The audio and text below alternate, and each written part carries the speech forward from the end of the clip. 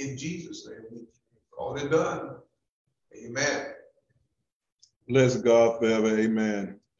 I appreciate you all being with me today because of the fact I have some things that we need to discuss. And since the Most High God is always there for us, watching the eyes of the Lord, the Bible says, go to and fro throughout the whole earth, looking and seeking someone that he, that he can show himself strong in their behalf. And just thank God for Pastor Great praying for Andrina and for the beautiful way that he lifted her up from last night, from the daytime to where now she's resting. I appreciate him for that because his spirit, his spirit is the quicken. His word is the quicken. He is the quicken and to give life. Today, I just want you to think for a moment. Why is it that we walk this walk? Is it so that we can come together and think we have insurance to keep us from going to hell? Is it so that we can know something that other people don't know? Tomorrow is what is called Shavuot. It's called the Feast of the Passover. Maybe if the Lord spares us next year, I may do something exactly on that day in the assembly. Right, they call it Pentecost. Pentecost, the Greek word Pentecostes means 50. But before it ever got to the hands of the Greeks, it wasn't called Pentecost. It was it counted seven Sabbaths from another Sabbath. The 50th day, according to Leviticus chapter 23, is the day of Shavuot. But there's something that magnificently wonderful happened on that day. On that day, Yah Most High, he gave to his people his commands, his instructions to rule the world. I need somebody on the conference line to mute their phone, please, because I don't have the ability to do it. But he gave his commandments. He gave his power. He gave the ability for them to know what it would take to be in control. No, just mute your phone. That's okay. It was just somebody else who called it. That's all. How are we going to look at that?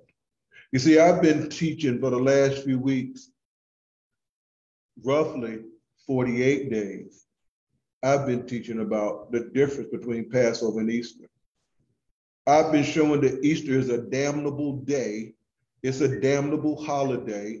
It is absolutely unequivocally pagan. It can, you have the you have the rabbit, you have the egg, and all that in Egypt. You have it going out through other cultures. You get it going out through the Greeks. You got it going through the Romans, and now you have it from the people that came from Europe and brought it over here into what they call the Americas through the name of Easter. But that's not the big deal.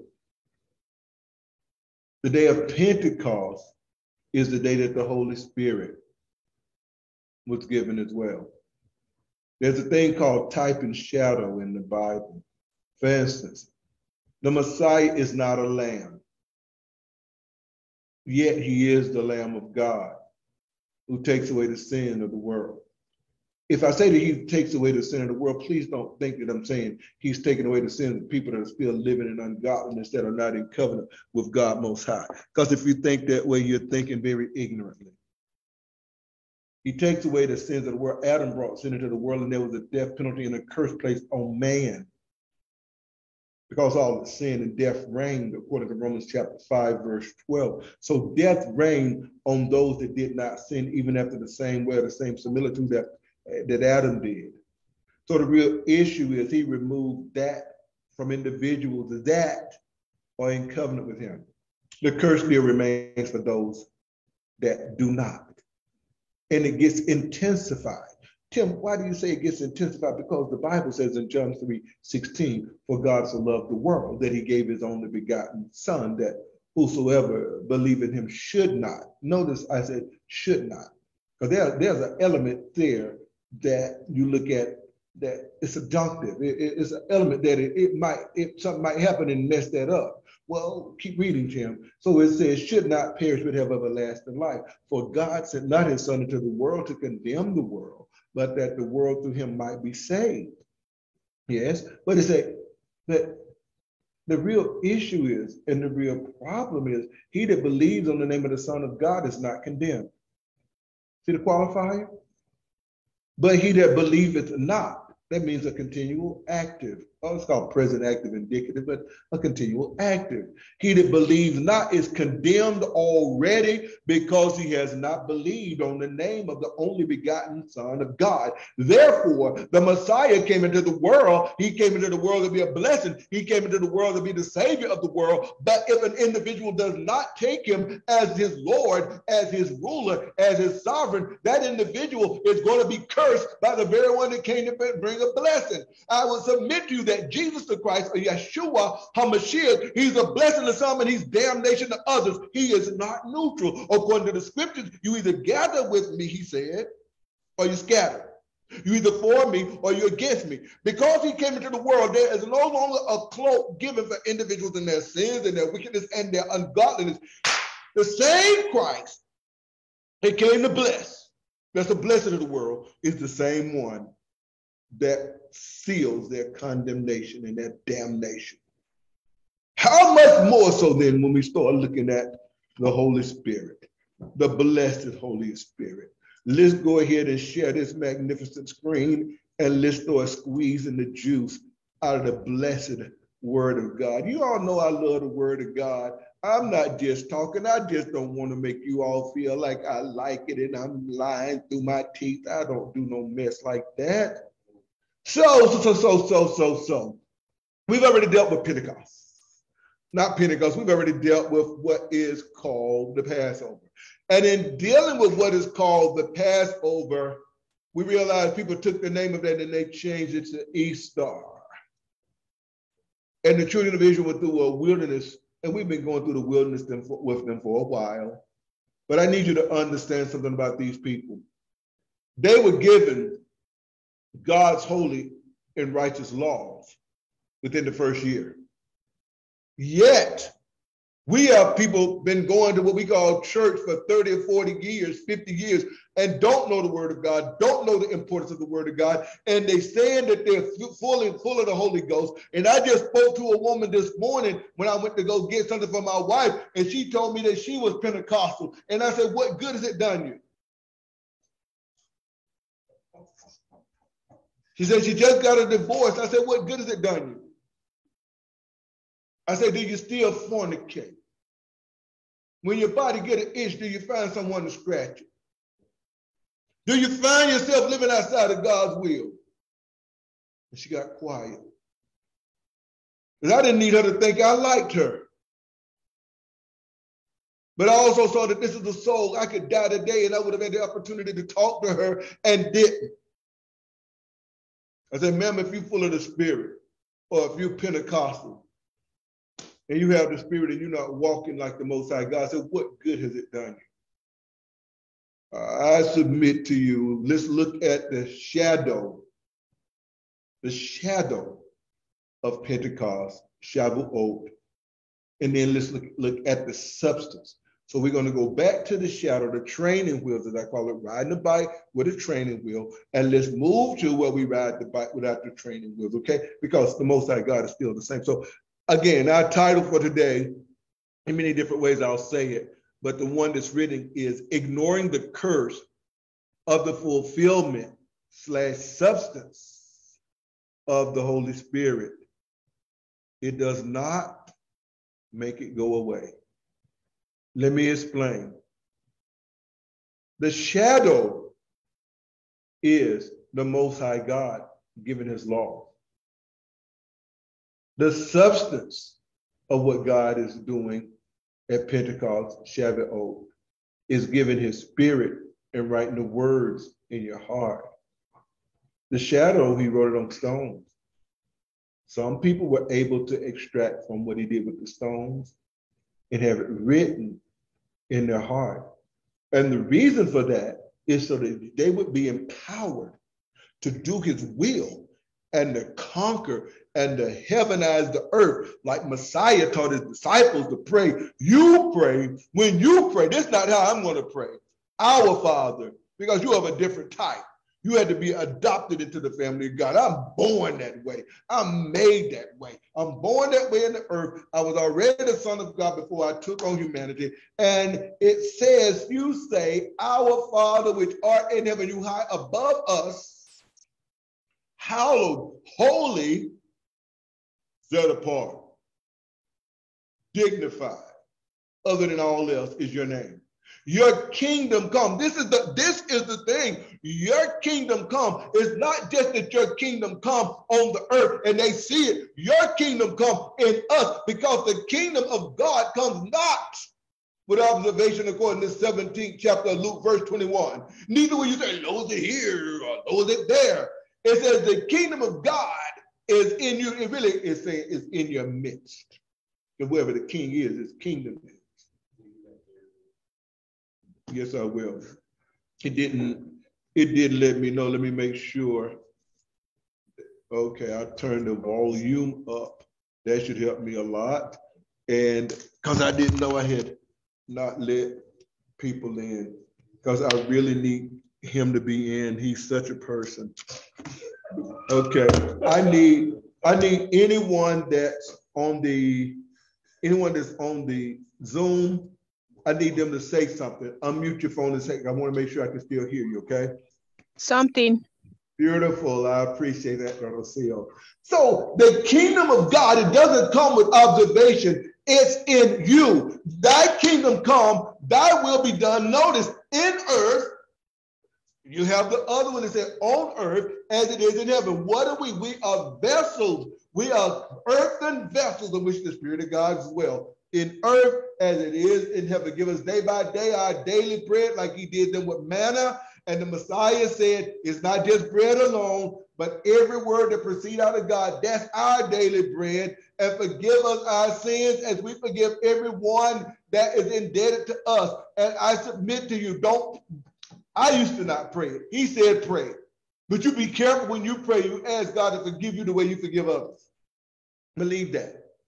You better understand if you're going to hold them to a righteous standard, that's the way you need to forgive with a righteous standard. Bring forth fruit, meet for repentance, like he teaches in the scripture. And you know these things if you would have known, the children of God would have known that's what the Most High taught them when he gave them his laws on the mountain. He said, Lead us not into temptation, but deliver us from evil. That's one of the accounts of the prayer. It stops there.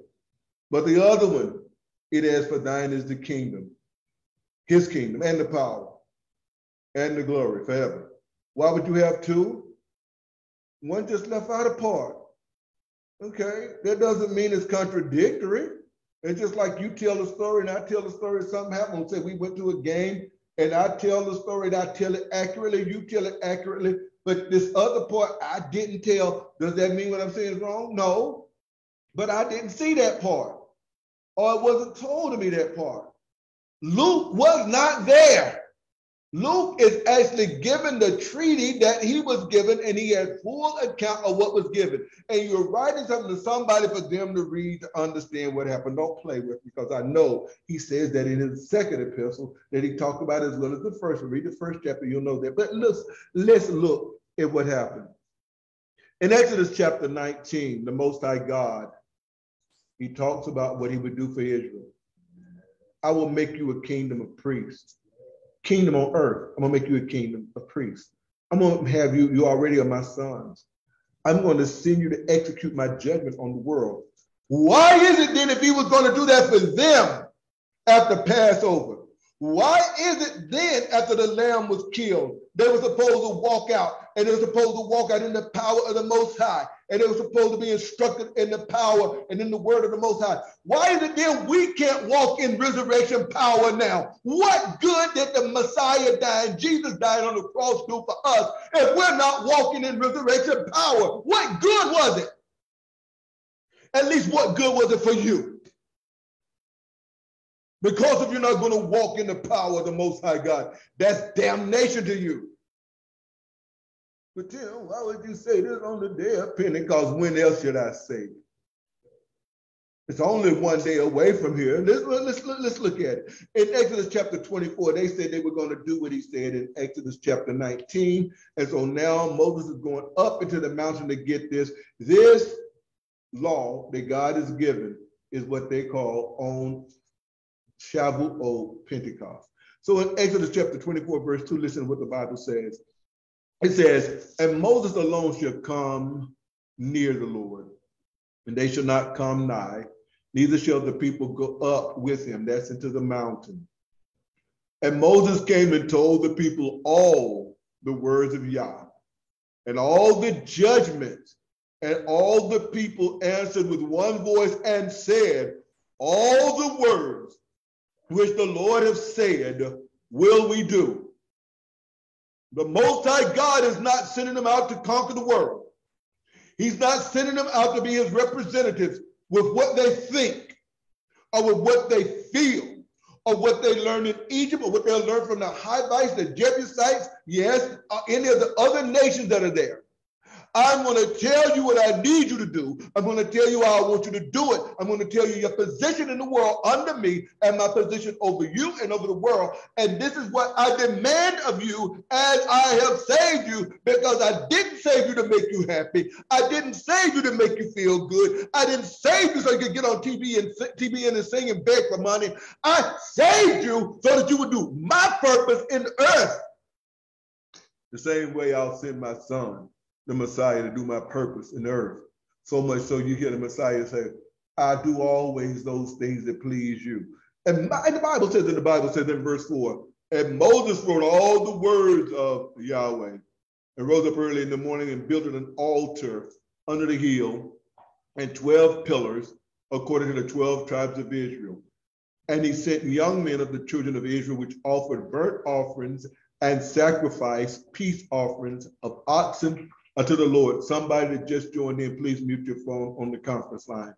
And Moses took half of the blood and put it in basins, the, the blood of the animals, and put it in and put it in the basins. And half of the blood he sprinkled on the altar. Notice he is shedding, not shedding, but he's taking blood and he's putting the blood on the altar. Verse 7. And he took the book of the covenant and read in the audience of the people and said, this is what they said, all that Yahweh have said will we do and be obedient. This is what the people said on what we would call Pentecost, Shavuot. They said all that he said, he said something. And they said, we'll be subject. We'll do things the way he wants it to be done. His kingdom will be spread the way he wants it to be done. In other words, we will not set our own agenda. We will follow his agenda. And he says, all that Yahweh has said will we do and be obedient. And verse 8 says, and Moses took the blood and sprinkled it on the people. Somebody got to turn their somebody got to turn their um, phone on mute on the on the uh, Zoom because I'm hearing feedback and a different conversation. i am going to figure out how to make it where I can mute everything until I want to let it in, but I don't know how to do it yet. I was studying it last night, but I was on the short bus. I got Naomi. You can you teach me how to do that after class? How to make it where no one can come in with, on the audio until I let them in. Okay, if you can't, you you're still in school. Somebody can tell you one of your friends. Let's go back to verse 8. And Moses took the blood and sprinkled it on the people and said, Behold, the blood of the covenant which the Lord has made with you concerning all these words. I submit to you that that blood being shed was a representation of the people being shed or whoever violated this commandment, their blood being shed, and this blood has been shed, and this blood has been put on the people, it's been put on the ark of the, I mean, on the uh, tabernacle, and they have sworn by the blood. And if they go against this blood, that blood is a curse against them. It becomes a curse because they have sworn by the blood that all that the Most High said will we do and be obedient. And there are people today swear by the blood in their dirt and their wickedness against God and plead the blood. Where did you find it in the Bible? How do you make mockery of such a thing that is so powerful? and so important to our lives. The shed blood of the Most High Son, the shed blood of the animal that the Lord used to sanctify the people coming out of Egypt. And the Bible says, and they saw the God of Israel, and under his feet as it were a paved work of sapphire stone, and as it was a great, as it were the body of heaven in clearness. And the nobles of the children of Israel, he laid not his hands also. They saw God and did eat and drink. Now notice this, verse 12. And Yahweh said to Moses, Come up to me in the mountain and be there, and I will give you tables of stone and a law and a Torah and commandments which I have written that you may teach them. This is the problem with America. This is the problem with other countries of the world. They're going to make you subject to laws you don't know, that you don't understand, and you got to pay to get justice. The Most High God system was I'm going to give you my laws, I'm going to give you everything that you need. And when I give you everything that you need, there'll not be a lawyer, there'll not be a doctor, there'll not be a preacher, any of those people that can take and keep justice from you and you not know it. The Most High wanted us to be people that could go into all the world. He wanted us to be light to the world. He wanted us to be salt in the earth. You can't be light in the world when you're in darkness. You can't be salt in the earth when you have already lost your saltiness. This is his purpose of giving them his righteous law.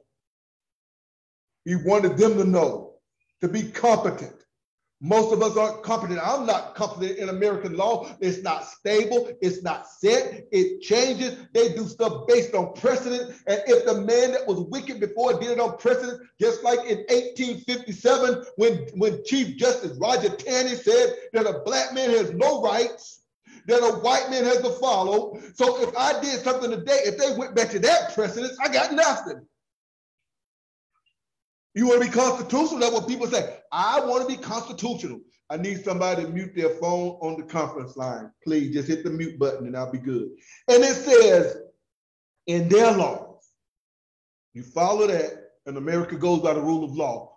But the Most High God, His laws, His statutes, and His covenants are based in Him. They don't change because he doesn't change. So verse 13 says that Moses rose up with his minister and Joshua, Yahashua, and Moses went up into the mount of God, and he said to the elders, tarry here until we come again unto you. Behold, Aaron and Hur are with you, and if any man has any matters to do, let him come unto them.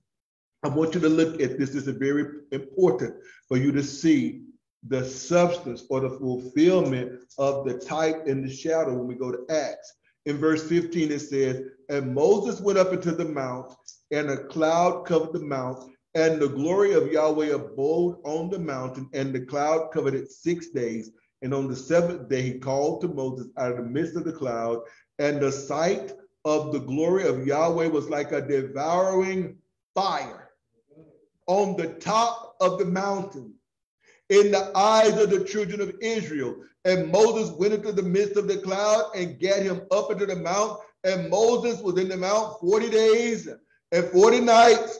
And then from there, you'll hear Yahweh tell them what they're to do to build the tabernacle, to get the tabernacle ready so that his presence can dwell therein. If I was to read it, he goes through and show you what needs to be done to get the tabernacle ready. I submit to you that when we look and we see what we get ready to see in the book of Acts, in the book of Acts, I want you to understand that when the Most High God comes and His Spirit sets on the people like cloven tongues, C L O V E N tongues, and sets and rests on the people, this is a representation of what happened then. And the Most High is going to teach the people what they need to do to prepare their tabernacle for Him to dwell in so that they can go and rule, so that they can have their sins dealt with, so that they would know what they're supposed to do when they go out into the world, I submit to you that we cut God short when all we think about is we just want to get saved.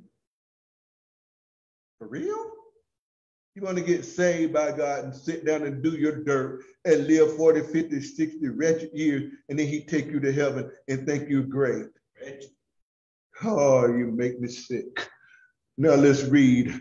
Let's look at this parallel. Let's look at Exodus chapter 23, verse number 20.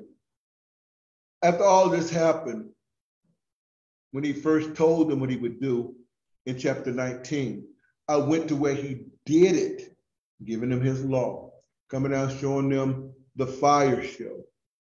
If you read the book of Hebrews, Moses said he exceedingly feared and quaked. There were earthquakes and all that. I didn't want to read all of that because I want to get into something even more uh, pertinent to most people because they just like New Testament. But I need them to understand that that didn't just drop out of the sky.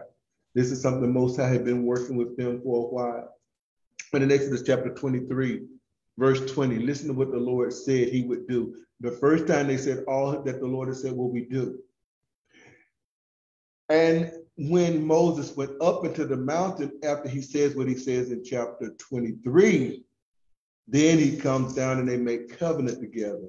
So, what did God say that he would do for these people? And these people agreed to what I just read. Well, in Exodus chapter 23 and 20, the Bible says, Yahweh said, Behold, I send an angel. Not don't think of somebody, don't think of somebody that looked like what you maybe say Brad Pitt or or somebody that looked like uh, the old Batman or, or or think or think of somebody that looked like Gilligan or or somebody that looked like that dude in, when I was young called Fabio. Don't no, no. An angel the, the Hebrew word is malak. Let me just show you. I click on the word and you look here, malak. That's a messenger. For those that don't know that an angel is a messenger, see here, malak, messenger. It can either be a human, it can be a spirit, it can be a watch, etc. So it says, I send an angel before thee to keep thee in the way, to bring thee into the place which I have prepared.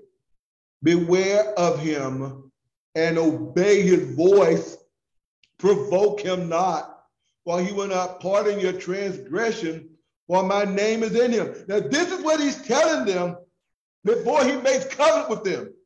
I'm sending my message to be in the presence of you.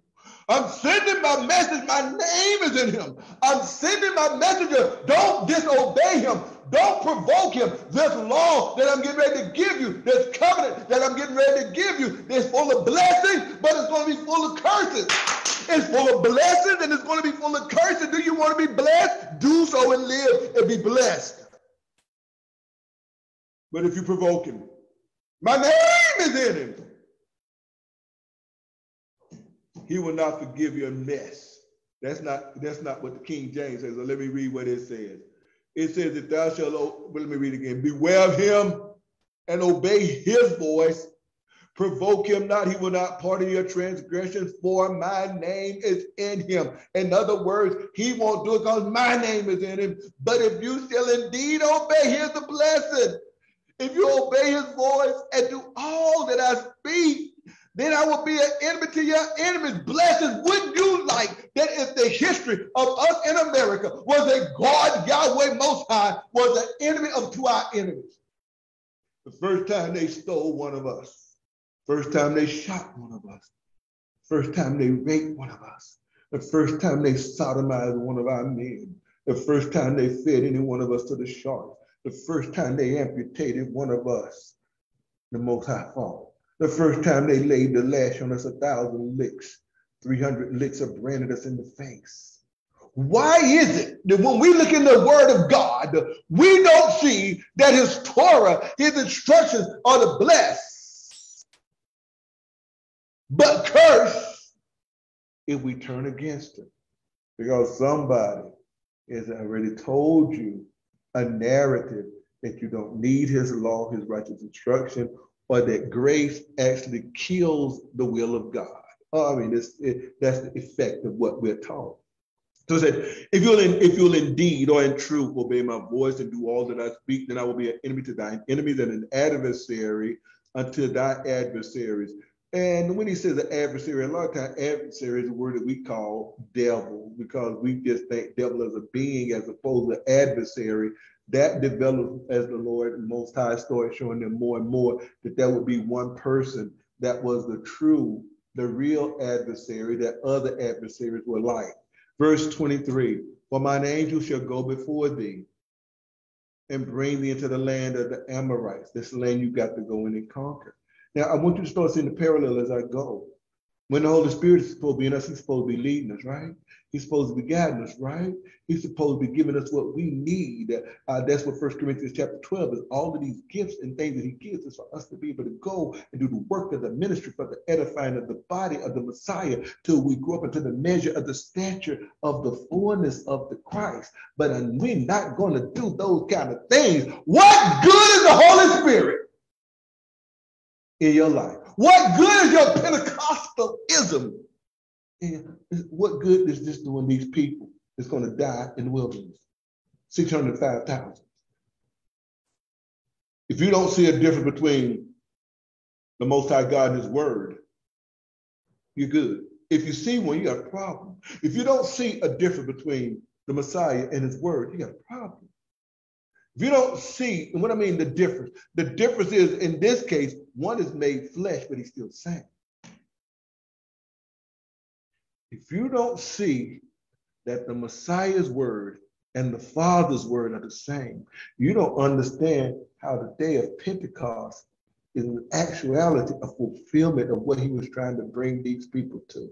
He was trying to get them to the place that they would have a tabernacle. God wanted to prepare our bodies to be a tabernacle for the Holy Spirit, which is in us, which we have of God. We are not our own. That's what I read in First Corinthians chapter 6 and 19 and 20, but maybe some people's Bible don't say that, but mine does.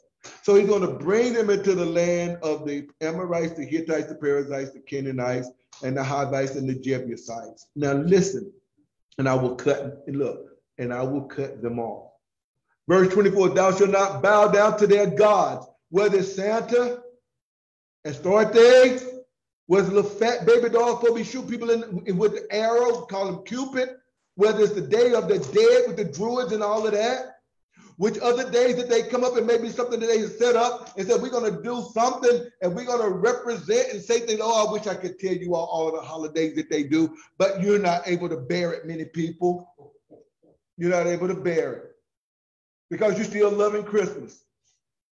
And one of the problems with Christmas is, is that was the day that was Christianized to bring it to you, to give it to you, that was given to people, and they would do things with Tammuz, they would do things with the god Saturn. And the problem is that you don't understand that you're amalgamating yourself with the wickedness of these other gods. You don't want to be holy. You don't want to be righteous.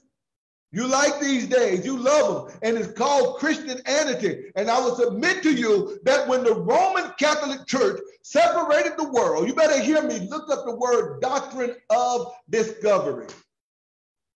In the doctrine of discovery, when they wrote that doctrine of discovery in 1493, after 1492, when they said this man Columbus discovered America, and he did. Christopher Columbus did discover America in 1492. Somebody say, I ain't gonna listen you, you don't know what you're talking about. Do you not know what I'm talking about? Because discovering America is not discovering the land uh, and that it wasn't already here and there were not people already here.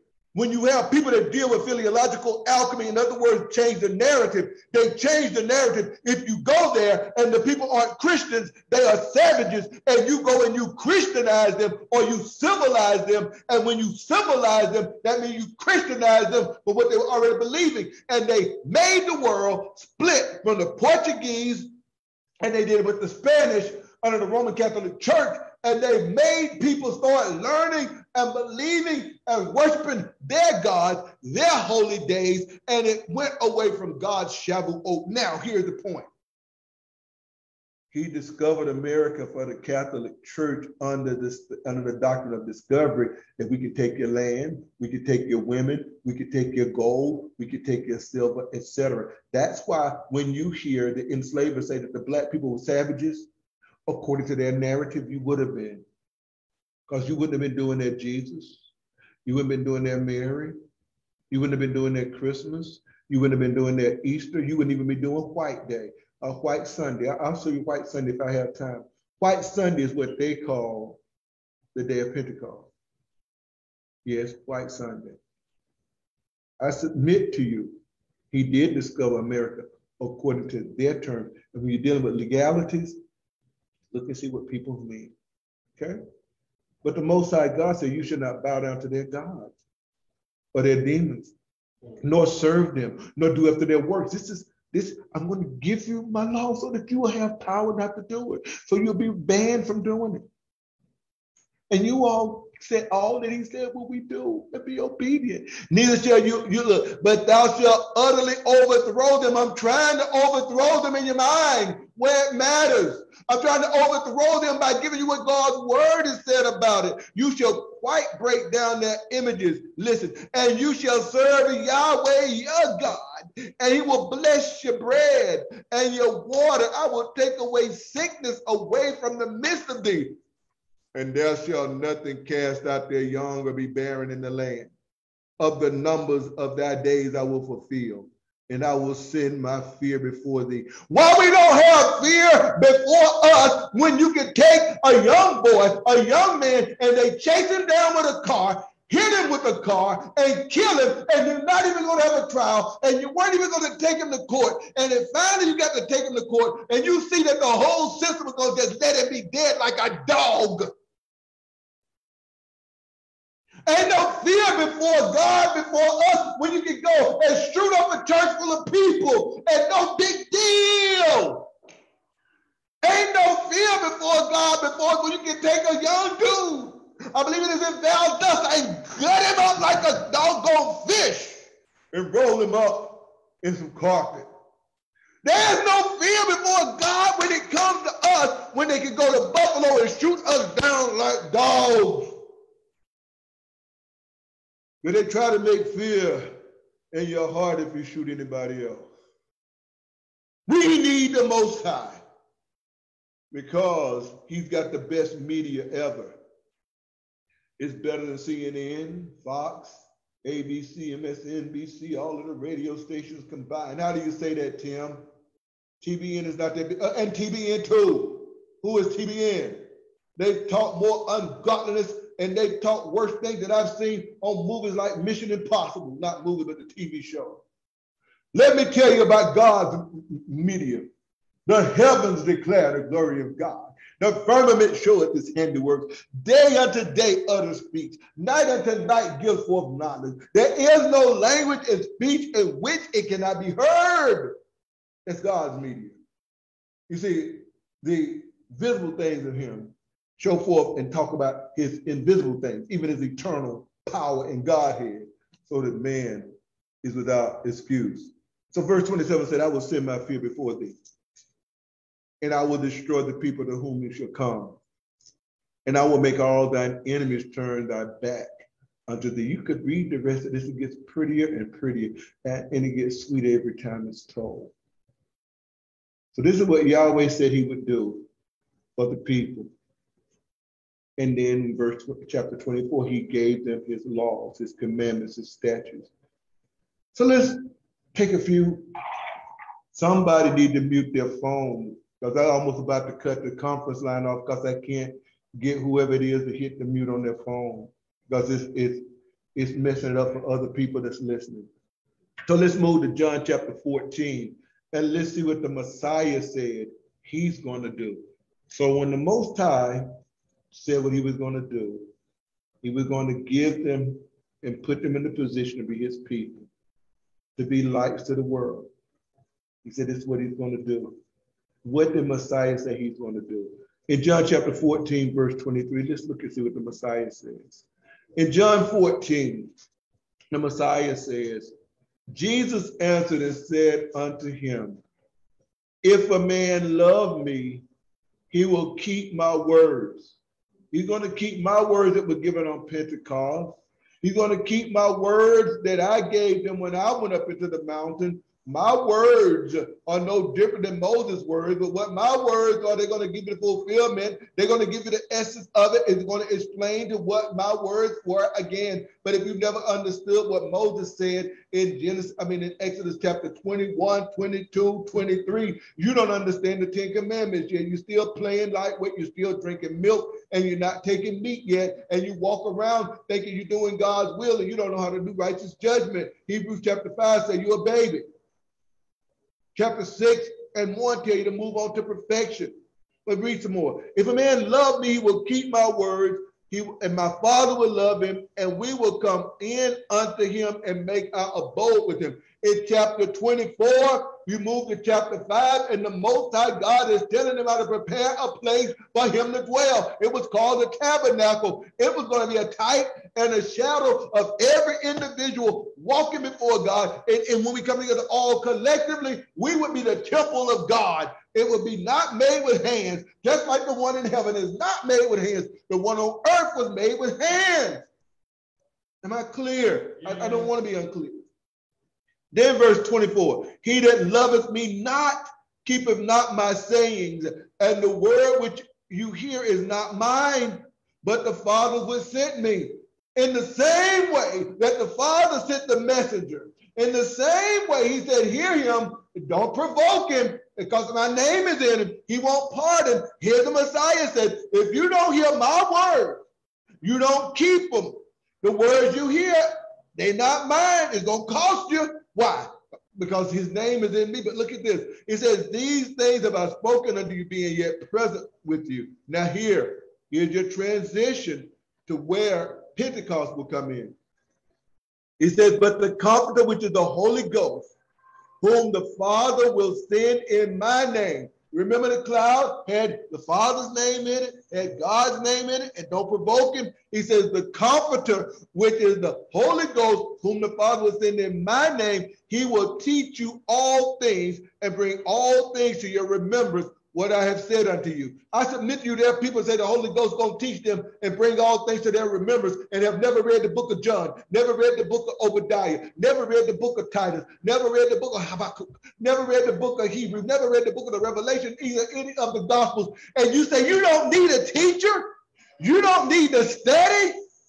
The Holy Ghost gonna bring all things to your remembrance. What are you gonna bring back to your remembrance? Chaka Khan? Do you love what you feel? Do you love what I do? Do you love? Do you want to hear preach? Uh, Prince, uh, about your Messiah, or do you want to hear uh, Michael Jackson say uh, they don't really care about us because whatever is in your memory, that's what's going to come back to your remembrance. He's talking about qualified. Look, he shall bring all things to your remembrance whatsoever I have said unto you. And if you read Luke chapter 24, starting at 24, he's going to explain to them all of the things that the prophets had said concerning him. So notice, peace I leave with you. My peace give I unto you. Not as the world giveth, give I unto you. Let not your heart be troubled, neither let it be afraid. I'm giving you my peace so that you can be peacemakers. Oh, I wish we loved the scripture the way we say that we do. Now, notice the Holy Spirit, they're going to bring all things to your remembrance. Whatever the, the Messiah has taught. The Holy Spirit, they're supposed to be with us like the cloud had his messenger in it. What is his reason for giving him to us? Is it so that we can have miracles that we can count? So we can say we got a five-fold ministry? You know, I have a problem with the fivefold ministry as it, is taught. First of all, you have people saying they believe in the fivefold ministry, don't even know what the ministry of the Christ is, don't read the scripture. And somebody counted out five and somebody else says it's four. If you say, I don't believe in the fivefold ministry, I understand what you're saying. So let me grant you that if what you're saying is this, I believe in it what they call the fivefold ministry, where they give apostles, prophets, pastors, teachers, and all of this for the work of the ministry, for the edifying of the body of Christ. That's everything Christ was. He was an apostle. He was a pastor. He was a teacher. He was an evangelist. Everything that it says. In other words, when Christ comes into you, he empowers us, some of us to do one part, another part, some to do three or four parts. It's not that it's something that's just ephemeral, that's just out there, fivefold ministry. What he's doing is giving you the ability to represent the Christ. The Christ as an apostle, he was sent by God. He was this good shepherd, a pastor. He was a teacher. He came to teach the word of the living God. What's the other two? Prophet. He is the prophet that Moses talked about. What's the other one? Evangelist he went, I must needs go to Samaria. I'm going to the lost sheep of the house of Israel. I, I, I also going to send some others to other people that I have are not of the fold. I am all of that. When you talk about fivefold ministry, or you talk about something to make me look at you as being great, you're an apostle, you're a pastor, you're a bishop. That doesn't move me. What moves me are you walking and teaching and living and putting it out like the Most High God. And if I never call you a fivefold ministry person, you still are. But I've heard. I try not to get caught up in Christian talk because a lot of time it's promoted and promulgated by individuals that don't read the scripture. You think when they brought us on those ships here, they didn't have some pastors? That they didn't have some teachers? That they didn't have any evangelists? That they didn't have people that they say were prophets? And that they didn't say they were sent by God to conquer this land no matter what? And that no matter who lived here, God has given us this land by providence. You had people that were called covenanters. You had people that reformed. You had Scots, Scots, Irish. Don't tell me I don't know what I'm talking about because I know who taught me and I got his history books. And I've been reading stuff what they did with the American Revolution. I've been reading not only with the American Revolution, but the things that they did when they had the Civil War. But those men, they could have claimed they were fivefold ministry. Until your ministry mirrors the Christ, he's given every, he's showing you what his ministry consisted of. And if our ministry consists of that, if that's what you mean by fivefold ministry, yeah, I believe in it. But I meet a lot of people that say they're apostles. And uh, really? Of who? You don't even do, do scriptures. I get accused of that I'm too cerebral or that I study too much. Let me tell you something. Paul was chosen. He was cerebral. And God used him. Moses was trained in all the wisdom of the Egyptians. When the Most High determines to use somebody, he don't throw away your knowledge. He doesn't. He uses it to his glory. Why should I not give the Most High everything that I have so that he can use it? I guarantee you, if you ever watch Kobe Bryant practice, he'd give his all. Let people listen to people talk about it. He would have gone to practice and practice and gone back home before the first practice started, then go practice and stay later and stay earlier. Now Shaq said that's one of the reasons he had a problem because he wouldn't do that. And if he can do that for uh, a mere reward on earth, why can't I give the Most High that much? So let's look at why he's given the Spirit. John 16 and 7, Jesus says, Nevertheless, I tell you the truth. It is expedient for you that I go away. For if I go not away, come out the Comforter, which is the Holy Ghost, the Holy Spirit, the Comforter will not come unto you. But if I depart, I will send him, just like the cloud was sent with my name in it. Verse 8 And when he is come, he will reprove the world of sin and of righteousness and of judgment. This is what the Messiah did. He reproved the world of sin he reproved the world of sin, and he did it of righteousness and of judgment. Of sin because they believe not on me, because I'm the, the word, word of righteousness, because I go to my Father, and you shall see me no more, and of judgment, because the prince of the earth is judged. Now, you talking about he's judged, and you still gonna be walking under his auspices, under what he wants. How stupid can you be? So now let's walk back through it. He's going to send the, the comforter. The comforter is coming in his name. The comforter is going to come in his name to reprove the world of sin, righteousness, and judgment. That's why the power of God came down on the mountain to give them his laws, to be his priesthood, to go out into the world to, to straighten out things with the Amorites, the Hittites, the Hivites, and the Jebusites. So now this is what Messiah said. And the last thing that we see that he said about that is in Acts chapter 1, verse 8. He says, You shall receive power. I know you all know this by heart. But remember, I'm talking about the curse of the Holy Spirit. And most of us ignore the curse of the Holy Spirit. We ignore that there was a fulfillment in the substance, I mean, which is the substance of the shadow of him giving the law. So, what is the fulfillment? What is the substance? He does just ignoring the curse, don't make it go away. So, what did he say? You shall receive power after that the Holy Ghost has come upon you, and you shall be witnesses. The word here is martyra, okay? Look at it. Martyr, see, martes, martyr. And what the word is, is talking about you will be witnesses, whether to the death or not. You'll be witnesses to me both in Jerusalem and Judea and Samaria, where they don't like you. Samaria, and the uttermost parts of the earth. The Holy Spirit has come to make you real witnesses. It's not coming to make you great in the sense of the world. He's not coming to make folk like you. He's coming to reprove the world of sin, righteousness, and judgment. This is what Messiah said. Shouldn't he be able to tell you what he's for when he said he's going to make him, he's going to come to reprove the world of sin, righteousness, and judgment? Well, when we look, is that what we see happen? Look at two and three Acts. Let's look at two and one. Bible says, and when the day of Pentecost, Shavuot, which we which we have talked about being tomorrow, was fully come because it had to be the 50th day. They were all together with one accord in one place, and suddenly there came a sound from heaven. Just like if I read the account of Deuteronomy, they had a lot of noises and, and the songs talking about the angel with different messengers came and they were making noise. And as a rushing mighty wind, as a matter of fact, sometimes uh, the angels would have called spirits, those that are celestial. It said God calls them winds.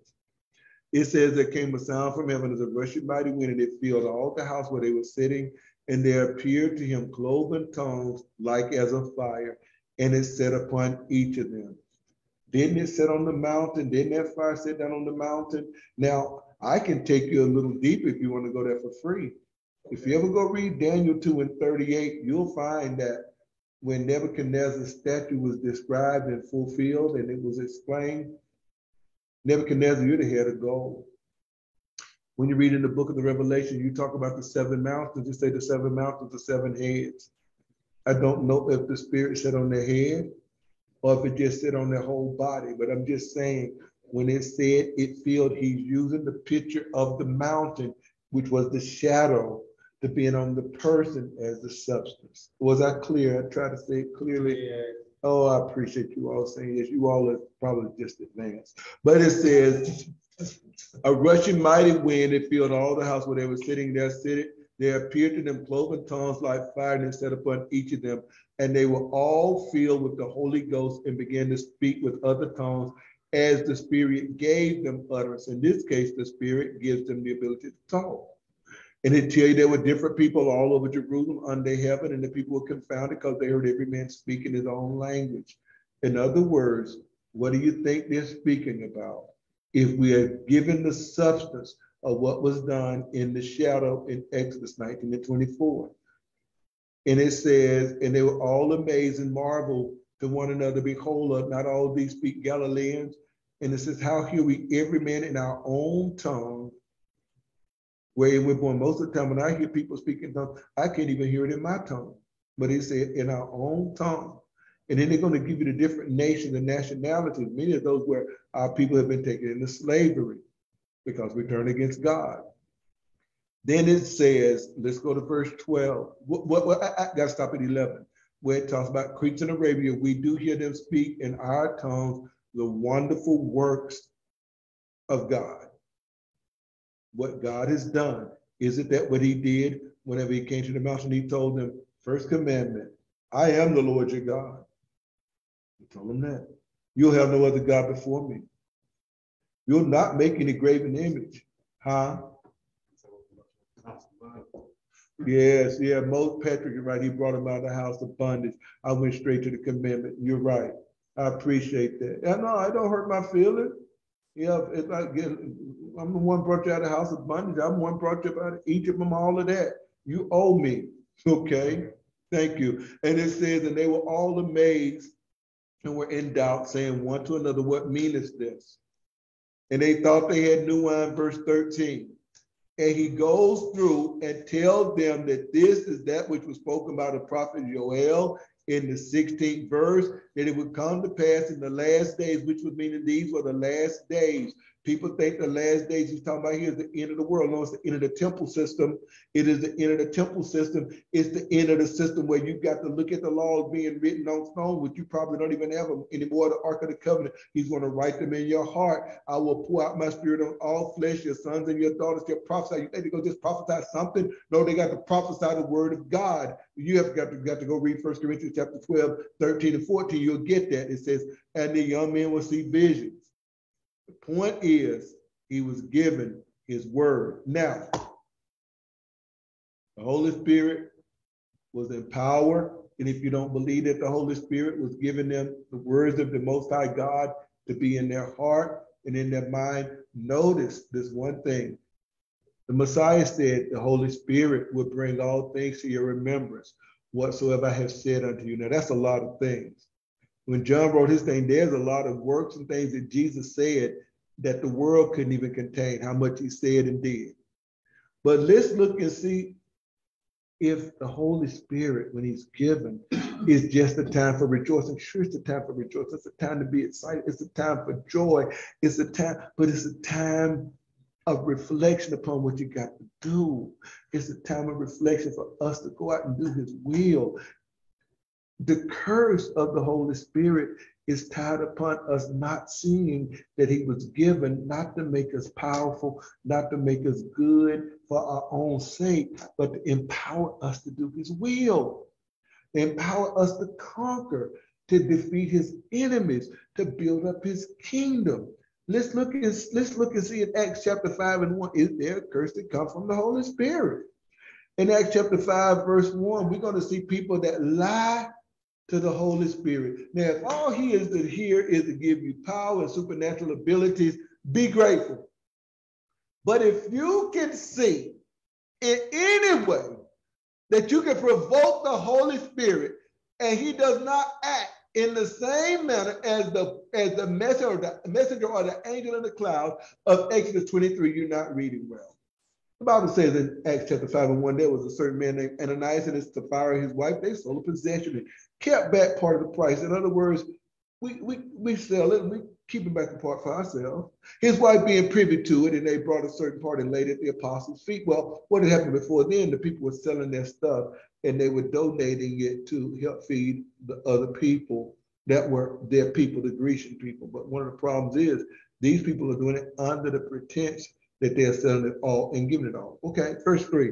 But Peter said, Ananias, why has Satan filled your heart to lie to the Holy Ghost? The same one that people say that they have now. The same one that they say that make them an apostle. The same one that say that make them a prophet and they prophesy. The same one they say make them speak in tongues. The same one they say that they got the gift of healing. The same one that they say got the gift of discernment. The same one is supposed to be within them to give them what they see as a blessing. Peter says, You have taken the same one. And I'm not going to say these people have never had the Holy Spirit. But he says, Why has Satan Fill your heart to lie to him. He's not a toy. He's not here for. He's not here for you to do what you want to do. He's in charge. He's ruling. He's coming in my name. I am the sovereign ruler. The curse of the Holy Spirit is to treat him as if he's optional. The curse of the Holy Spirit is to provoke him. The curse of the Holy Spirit is not to understand that he comes to fix it where we can fulfill the righteousness of God's law in our hearts and in our minds, and that we would walk upright and that the people would look at us and the fear of God and the dread of God would be on the nations. Yeah, I took a pause because that was profound wasn't profound cost I said it's profound, profound because it is.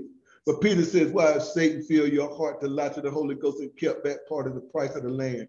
While it remains, wasn't it not your own? And after it was sold, was it not your own in your own power? Why have you conceived this thing in your heart? You have not lied to men, but unto God. Your body now is supposed to be the temple of the Holy Spirit which is in you, which you have of God. And Peter did not say that you had never had the Holy Spirit.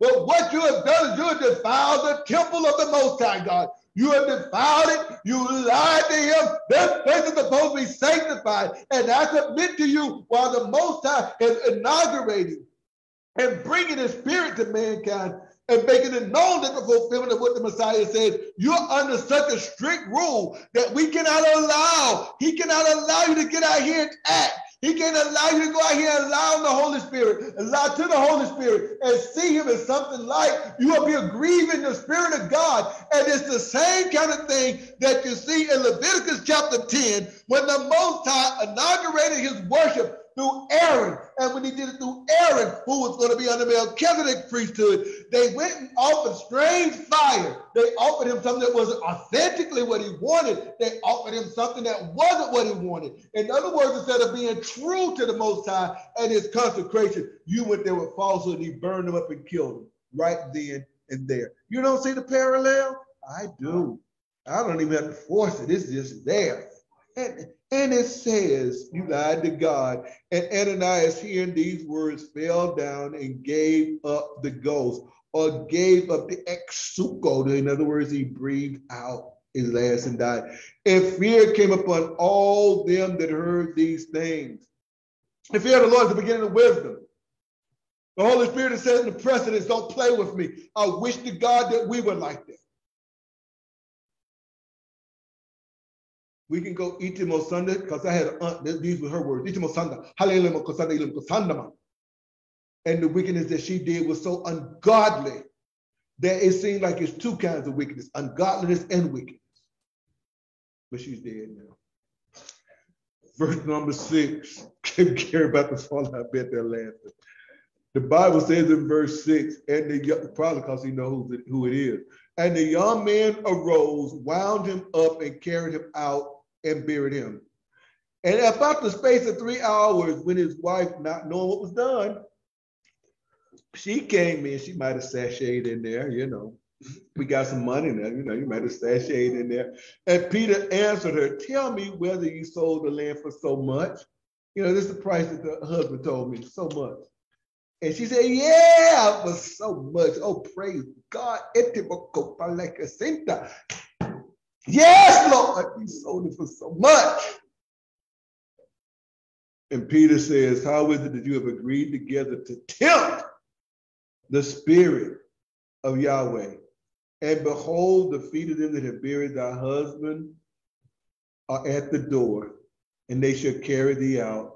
Then she fell down straightway at his feet and yielded up the ghost. And the young men came in and found her dead, carrying her forth, buried her by her husband. I like verse 11. This is important to my message. And great fear came upon all the church, and as many heard, and upon as many as heard these things. Listen to me. When the Most High God granted Solomon wisdom, he granted him the spirit of wisdom, and you read in First Kings chapter 3, you could probably start at verse 8, but if you read First Kings chapter 3 and read all of it, You'll see when the Most High God gave Solomon the wisdom to be able to do judgment. And what the Spirit is for? Yes, sin, righteousness, and judgment. And when he realized, when he showed the people God has shown me who child this is, and the other woman has kidnapped this child, willing to have this child put to death, willing to have this woman put to death because you said she kidnapped the child and she didn't. The Bible said great fear came on the people. They feared God and the king because they saw God was with the king to do judgment. Now, here's the point. Who told Peter that they sold for so much? Who told Peter that they had conspired together? They didn't know that Peter knew. I submit to you that the Most High God was letting these people know I'm doing judgment. The Holy Spirit put them to death. And then the Bible talks about other gifts. See, this is, I'm going to give you this. I wasn't going to, but I'm going to just go ahead and give you verse 12. And by the hands of the apostle were many signs and wonders wrought among the people. And it says, and they were all of one accord on Solomon's porch. The miracles and things Jesus said, they were to make you witnesses to me. It wasn't for me to go buy me a Rolex. It was to be witnesses to me. But he's word of God the word of God is about to bring judgment to the earth so that people that did not believe, they would be damned. Those that did believe, they would be saved. You are supposed to be bringing in the word of my of my Father, which is to show there is no neutrality with God. You're either for Him or against Him. He gets signs and wonders to authenticate and validate. But if that's all you need is a sign and a wonder, uh, uh, Jesus said, "A wicked and adulterous generation they look for a sign." And so the miracles are to help the ungodly. The signs are to help the ungodly.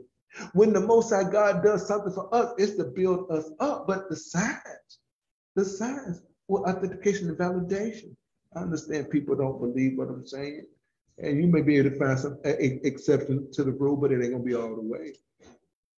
In First Corinthians chapter 10, I want, I mean chapter 11, I want you to see the curse of the Holy Spirit when he is mistreated when he is treated without the dignity and the respect as being God dwelling in us as individual and in the midst of his people. And we take his law and we treat it as if it's something common and unclean. Shavuot oh, should make us understand the Most High has highly lifted us up. We can't go around the world being like everybody else. We sin this, I'm gonna pray to God, he gonna forgive me, and I'm gonna go to God, he gonna do and nobody can be righteous. That's, is that what the Holy Spirit taught you? Bible said the grace of God has appeared to all men, is teaching us to deny godliness and worldly lust, so we can still live soberly, righteously, godliness, present age, looking for the blessed hope and glorious spirit of the great God and Savior. And He gave Himself for us. Why? Because He wanted to redeem us to Himself for people zealous of good works. But but but but but but but, but, but they say you have no works to do. Well, Ephesians 2 and 9 said we are his workmanship created in Christ Jesus unto good works which God has foreordained that we should walk in them. I, am being biblical. Yeah, you, you, all might be being churchy. You remember, I remember Christianity makes you uh, civilized. If it's not biblical, it makes you civilized. Well, in 1 Corinthians chapter 11, verse 20 said, when you have come together into one place, this is not to eat the Lord's Supper. It is a communion. Please understand there's a difference. It's not to eat the Lord's Supper, but everyone taketh before another his own supper. It is a bread and wine supper. And we look at supper, that's meal. Look at look at the word, diapnion, that's the Greek word, feast, banquet. It says everyone take his own supper, and one is hungry and another is drunk. And you know, sometimes when you have they would have church dinners, some people rush up in the line and eat before the children. They get their plate, and then when the children are in line, some of them get back in line to get seconds. Uh, sometimes they get it, they get, I need a plate. I gotta take a plate home to my husband. I gotta take a plate home for my two or three children. And I remember growing up, we used to have a dinner at Fair Street School at what they call Thanksgiving, and all the old people and all the adults would eat while we children would be hungry. They would feed their faces first.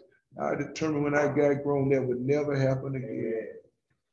Yeah, and I'm uh, see it was worse on it was worse on me and Gary and our family because our mama would have cooked the food, most of it, a great portion of it. My mama take stuff and make these things called angel biscuit. They have yeast in it, smell like rolls in the window, and she would cook it. They would smell so good. I stole a lot of them, which was wicked. Did you did, did you steal any? Did you ever steal any of her angel biscuit, or were you a better child than me in every way? I said in every way. I qualified it on purpose because I already know you were a better child than me. But it says, no, this thing say my battery is low. Okay, give me a second, you all. I want to do it. This is this. Your lovely face is not. Okay.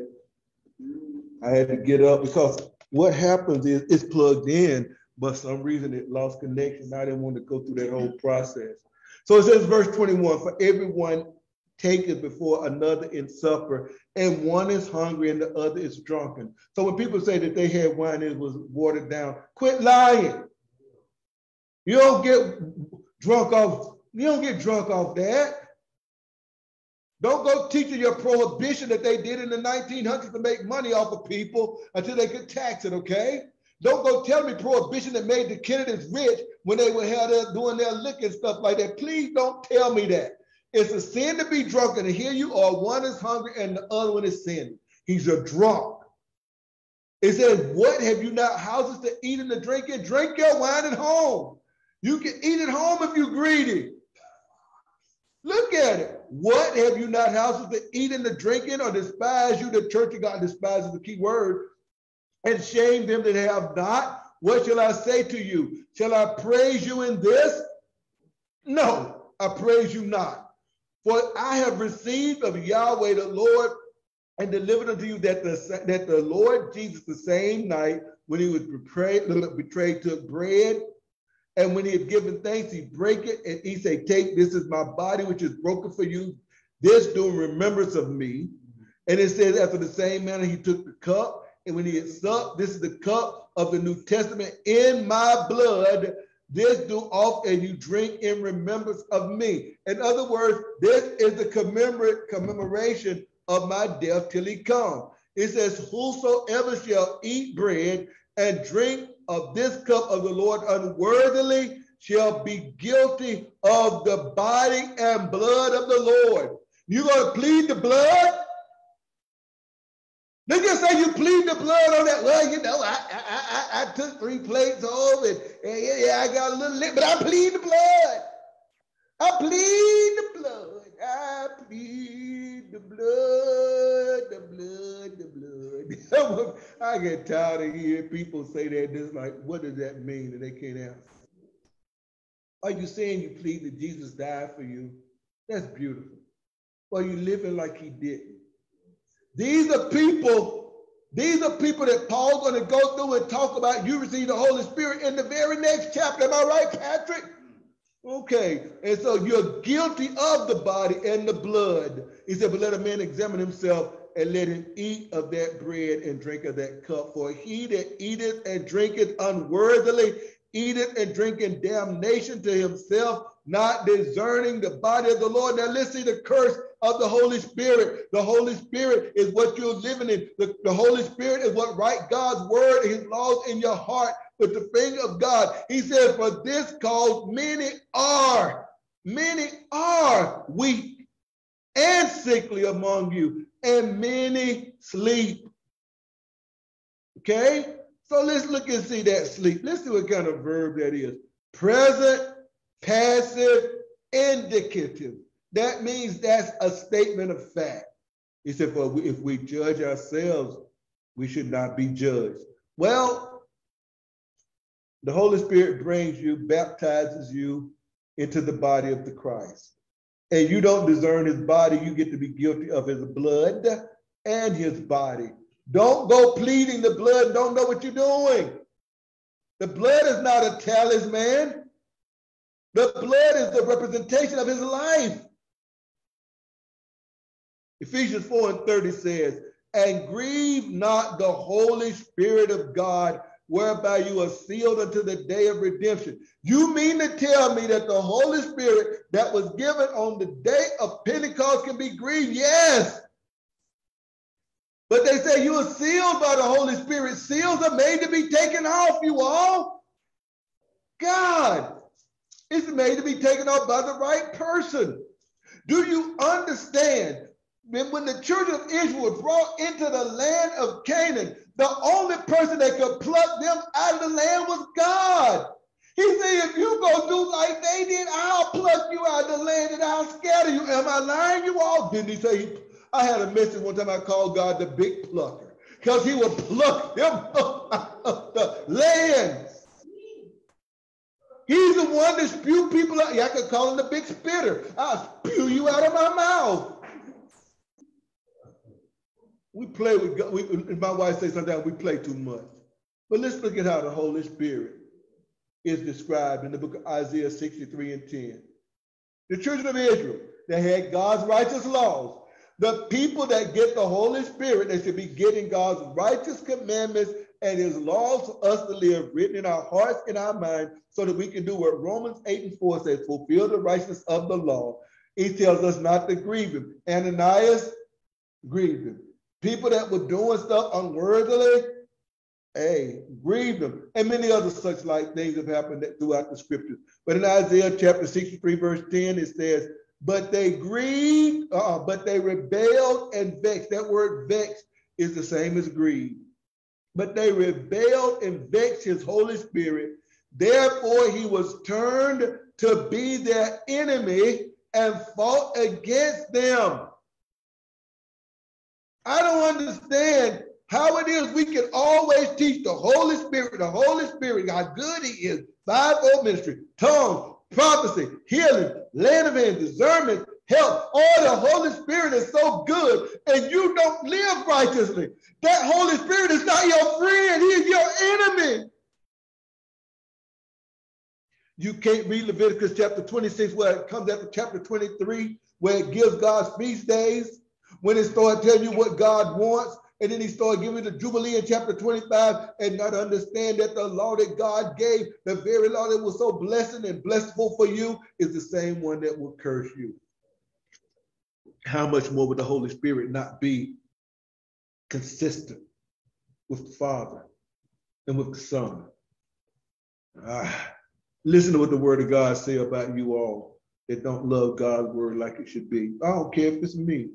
It says, For we sin willfully after this, I'm Hebrews mm-hmm. 10 and 26. For we sin willfully after we have received the knowledge of the truth. What do you think they got on the day of Pentecost? When do you think God wrought his laws on their hearts and in their mind by the Spirit? After you received the knowledge of the truth, there remained no more sacrifice for sin, but a certain fearful looking for judgment, because the Holy Spirit gonna do his judgment. It doesn't matter if it's on you or somebody else. Judgment and fiery indignation, which shall devour the adversaries. Listen, he despised Moses' law in that covenant, what the law was either a blessing or a cursing. Read 28, Deuteronomy 29 and 30. You see, I'm not wrong. Despised Moses' law, died without mercy under two or three witnesses of how much sorer punishment suppose ye shall he be thought worthy who have trodden underfoot the Son of God and counted the blood of the covenant wherewith he was sacrificed as an unholy thing. You don't think the blood is something special? You don't think the blood is something righteous? You pleading the blood in your dirt? What's the difference in you being drunk and pleading the blood in your dirt? And have done despite, look, and have done despite unto the spirit of grace. God has given his spirit of grace to empower you, and you don't care. Well, well, well. I somebody really need to mute their phone on the conference line. And it says it's a fearful thing. Well, let me go back. If we know him to say, Vengeance belongs to me, I will recompense, saith the Lord. Didn't he recompense with Ananias and Sapphira? Didn't he recompense with people that were sick and was already dead? He said the Lord will judge his people. It's a fearful thing to fall into the hand of the living God. This is New Testament. Well, one of the problems that we have in our modern church is that we don't feel that the Holy Spirit gives us any instruction, that he doesn't do like he did in Pentecost or the first when he had Shavuot when he gave his laws. And we're rebellious and we go against the Most High God. And we don't think God will put us to death or cut us off. But there's a real problem because we don't understand how the Bible is very cohesive. In 1 Samuel 15 and 23, I'm going to show you a man that had the Holy Spirit. Not going to be long. I'm going to show you a man that had the Holy Spirit. He was anointed he was appointed. He was chosen. He had prophesied. He had been able to have a new heart given by God. But he did not stay with God's righteous laws. All of the kings were supposed to take a copy of God's law and write it down so that they would not do what this man did or what David did when he took Bathsheba. Read the 17th chapter of the book of Deuteronomy. But it says, when Saul, who was anointed, appointed, chosen, given another heart and another spirit, he didn't keep God's commandment when God was executing righteous judgment on the sin of the Amalekites. The sin and the righteousness they sinned, they were supposed to execute righteous judgment. So he was supposed to be fulfilling what the Holy Spirit will fulfill. He didn't do it. So Samuel told him, For rebellion is as the sin of witchcraft. When you rebel against the word of God and you're rebellious against the Holy Spirit, you might as well be doing witchcraft when you're doing your due. And it says stubbornness is as iniquity. And Jesus says, Depart from me, you that work iniquity. It's as iniquity and idolatry. That's the same thing as fornication with another God. And Samuel tells Saul, the anointed, appointed, chosen, the man that had another spirit, because you have rejected the word of Yahweh, he has also rejected thee from being king. This is serious when you look at the whole scripture. Now let's look. The Most High God, we talked about fivefold ministry.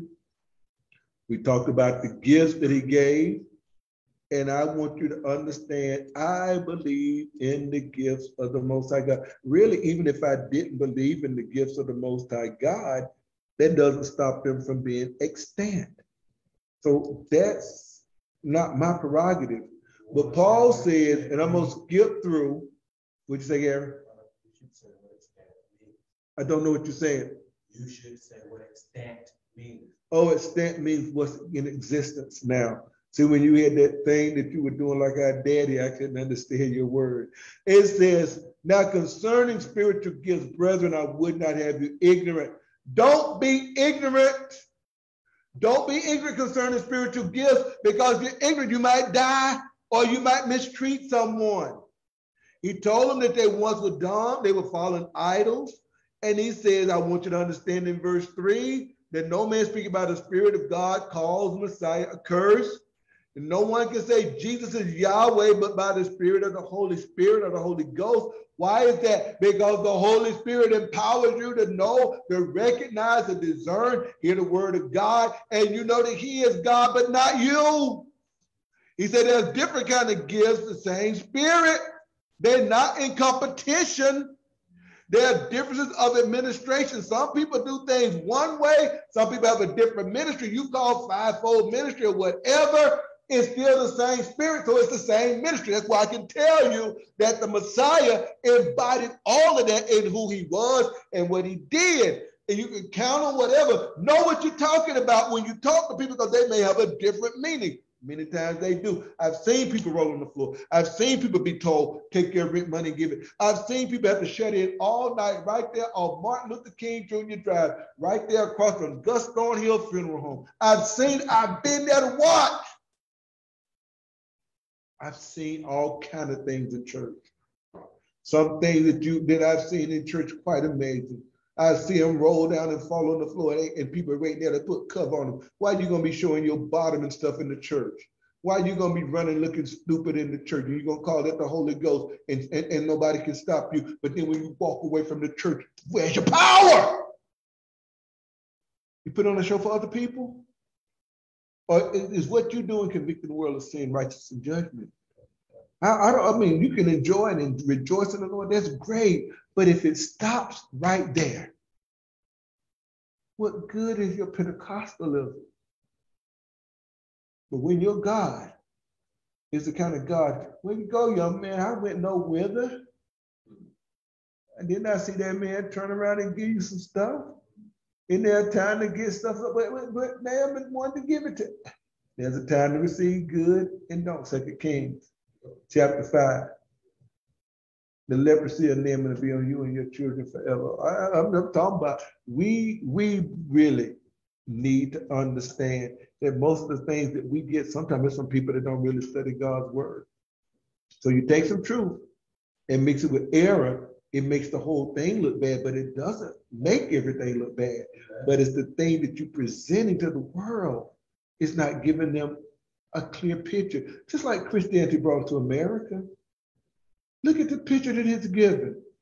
If I did not already love the word of God, if I weren't already reading it, I, don't know if anybody could convince me, especially if I learned history first. That's why men like Dr. Cheikh Diop, Dr. John Henrik Clarke, Dr. Ivan Van Sertima, and many other brilliant men. They have a hard time with Christianity because they know more about history and what was done. And so, Tim, why do you talk this stuff? Because I have young people that's under us. I have young people that's listening. And they need to understand their answers. And the representation that was given does not necessitate that this is what God said. It's a picture, like the rainbow was given as God's covenant. It had nothing to do with LGBTQRSTUV, whatever letters they add to it. But what we need to understand what's true. So there's diversities of gifts, difference of administration, the same Lord, diversities of operation, the same God, but it says the manifestation of the Spirit is given to every man to profit withal. Does that mean profit to go get money? Or is it to have the same kind of success Joshua had? You see, Joshua was supposed to have good success. Joshua was supposed to profit. Whatever the sole of his feet stopped, that was supposed to be their land. His, pro- his profiting would be doing God's will and making things work out for the people of God. His profiting wasn't be a man, I'm, I'm going to have me two big. That boy have me, boy have me a big plane. I'm gonna get up there and I'm a billionaire. And COVID, I curse you. okay, that wasn't Joshua prof, I mean profiting. And then it says faith by the same spirit, gifts of healing by the same spirit, working of miracles, discerning the spirit, different kinds of tongues. You see this, all of this is given by God. So don't let somebody tell me that I don't believe in that. I just went through it quickly because I want to end the message. But it says the body, but look, all of these miracles that are given, we're all baptized into one body, whether we be Jews or Gentile, whether we be bond or free, and have been made to drink of one spirit. The body is not one member, but many. What is he talking about? All of these different gifts if I tell you you got to have the, if I tell you you got to be able to heal and you ain't saved, you don't have evidence of the Holy Spirit. If I tell you you don't have the ability to discern spirits, you don't have the Holy Spirit. If I tell you you don't have the gift of prophecy, I'm telling you wrong. Just because you see in the book of Acts, many people would come out with one gift first. That does not say that that's the prescription or the proscription. That's a description of what happened. Gosh, how are we going to be like that? And through the spite, the spirit of grace. Gary, go put that plug back in again. Push it in right there. It's acting. I hear it. I need you to do it quickly. It's the one to go with this. Push it and I'll see it move. Okay, it start to move. I have to bring my other one next time. Put it in another one. Put it in another one. Yeah, yeah, it's moving now. They're gonna be when I get to this part, they're gonna try to do me like that. I, I got my ear open. But notice it says, can the foot say they go through and say, can the foot take the place of the hand, the hand, etc. It let you know everybody got their place. But then I want you to look at what the Holy Spirit says through the Apostle Paul. Paul says in verse 29, he said, well, in 28, he says, God has set some in, he said some in the church. First, those that are sent apostles, prophets, thirdly, teachers, that they're and their miracles. You see where it don't say um, evangelists? You see where it doesn't, you see where it say apostles, prophets, teachers, they'll say pastors? Because some of those gifts entail that. So he doesn't have to say that. It's about being like the Christ. An apostle sent, he was a prophet, he's a teacher. But he sounds like a shepherd, so he's a pastor, and he's going along doing, giving the good news. What I'm saying is, I don't get excited about fivefold like some people do. I want to know what you mean. I'm not saying it doesn't exist. But if I meet somebody the first time I meet you and I, I say, I'm Tim, I'm apostle so and so and so and so. And I'm like, or the first time I meet you, you tell me I'm Dr. So and so and so and so and so, or I'm so and so and so Esquire. I don't care you Esquire. I really don't. Neither do I care when I meet you, you Reverend so and so. First thing I want to know, what what do you what do you teach? I'm, getting ready to start asking you questions because you trying you make me think you're trying to make me think you over me. I'm gonna look up to you. Let me look up to you because of your character and who you are, not your title. I try not to confuse the two. You you all know my wife, so I go and say, you know, I'm Andrina's husband.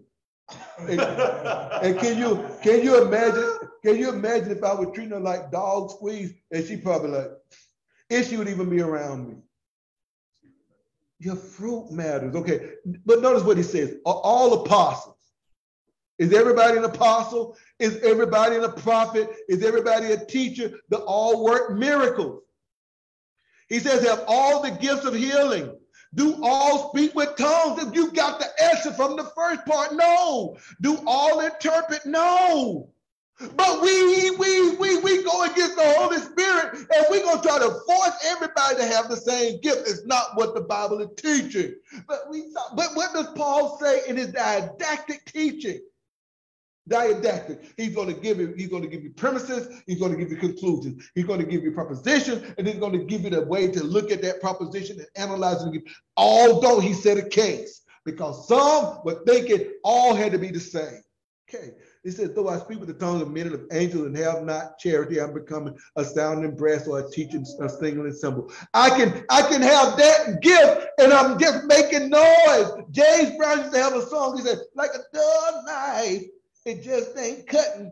You keep talking loud and ain't saying nothing. Yeah, he used to say that. But verse two, and though I have the gift of prophecy and understand all mystery and have all knowledge and have all faith that I can remove mountains and have no charity, I am nothing. We would be thinking this is the greatest apostle, a prophet. This is the great man of God. Paul said, if you can do this and don't have the love of God, which is the commandment, this is the love of God that we keep his commandment. And the second commandment is going to be like unto it love your neighbor as yourself. And I would submit to you that if you got all of that and you don't have the love of God, love for God and love of God. He said, You're nothing. But we say you something. And he said, I bestow all my goods to feed the poor. Let's feed the homeless. Let's have a feed the homeless thing. And that's going to make us righteous. Whether we still practice all kind of immorality and ungodliness, he said, though I bestow all of my goods to feed the poor. If I do the Ananias and Sapphira the right way, and though I give my body to be burned, I become a martyr and have not charity and profit me nothing. The only point that I'm trying to make here is you can have the gift of what God has given. You can have it and not have God. You don't have to walk with God to have a miracle. Jannes and Jambres didn't have one. They didn't have the God of heaven, but they sure had miracle. And then he, Jannes and Jambres, those are the two. And so Anyway, when we go to 14, I just want you to understand what he's saying. The best of the gifts is charity. He says, abide these three, three things, four, I mean, 13 and 13 faith, hope, and charity agape. These three, the greatest of these three is charity. It didn't mention anything in chapter 12. It didn't mention anything that's in chapter 12 at all. And by the Most High not mentioning any of those things that are in chapter 12, what we end up seeing is that we have emphasized something that the Most High did not emphasize as much. And then the last scripture that I got on this, mute your phone for my brother, in chapter 14, verse 24, First Corinthians. It says, if any man speak in an unknown tongue, let it be by two, or at the most by three, and that by course that means in the same kind of thing, like when they had the priesthood. By course, it says successively. And let one interpret. This is let one interpret. Let me show you on the on the right hand side. It's a verb present active it's imperative it's a commandment. It is not a suggestion. If there be no interpreter let him keep silence in the church. This is what the bible says. This is where rebellion comes in. Rebellion comes in is because god's word said and your pastor get up and let everybody speak in their heavenly language but the word of God gets overran by the traditions of man. That's why when you start talking about, I'm going to do things like my pastor say, although God says something else, you should never complain about anybody making us slaves over here. You should never complain about anybody robbing us, burning us, making us walk all the way from Tennessee all the way to Louisiana, or making us walk to Missouri or with chains on our neck, say nothing because God's word doesn't matter to you when you think you're serving God. They thought they were serving God when they said God has given them this land and they gave it to them and they even made songs about it. This land is your land. This land is my land. But it did not mean for the African slaves. Look at it. If there be no interpreter, let him keep silent in the church and let him speak to himself and to God. It didn't say he could not ever speak it. Let him speak to himself and to God if you're in an assembly. Let the prophet speak two or three and let the other judge. That's why sometimes we have panels. Y'all may want to disagree with me. That's fine. But bring it.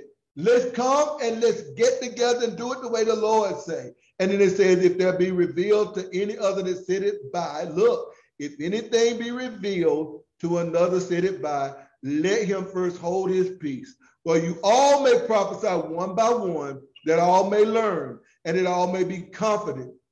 And it says, the spirit of the prophets are subject to the prophets. That's why sometimes you all say something, I mess up. Say, we say, Patrick, and we and because I started out with Exodus, and it says, I am the Lord your God. You, uh, Patrick, Patrick said real softly, said, I'm the Lord that brought you out, out of Egypt. All out of bondage. Okay, he's right. I left that part off. That part never need to be left let off, left off. He didn't just start telling you what to do. He told you who he was, who he is, what he is to you. Now, that's just how I want to roll with God's word.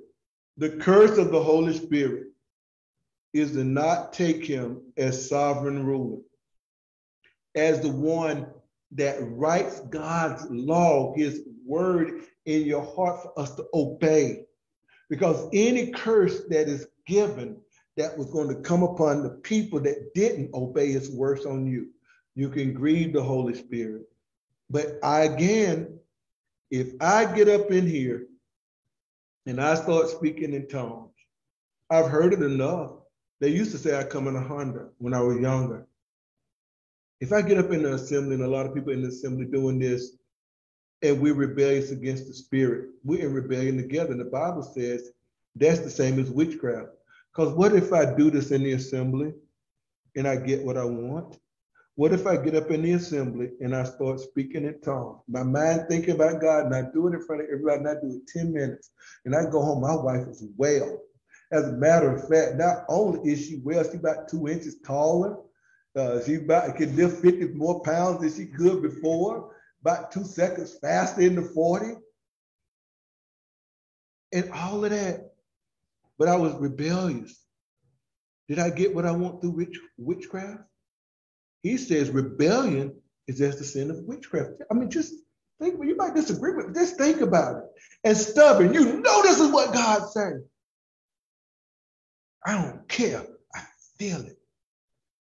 So you do it anyway.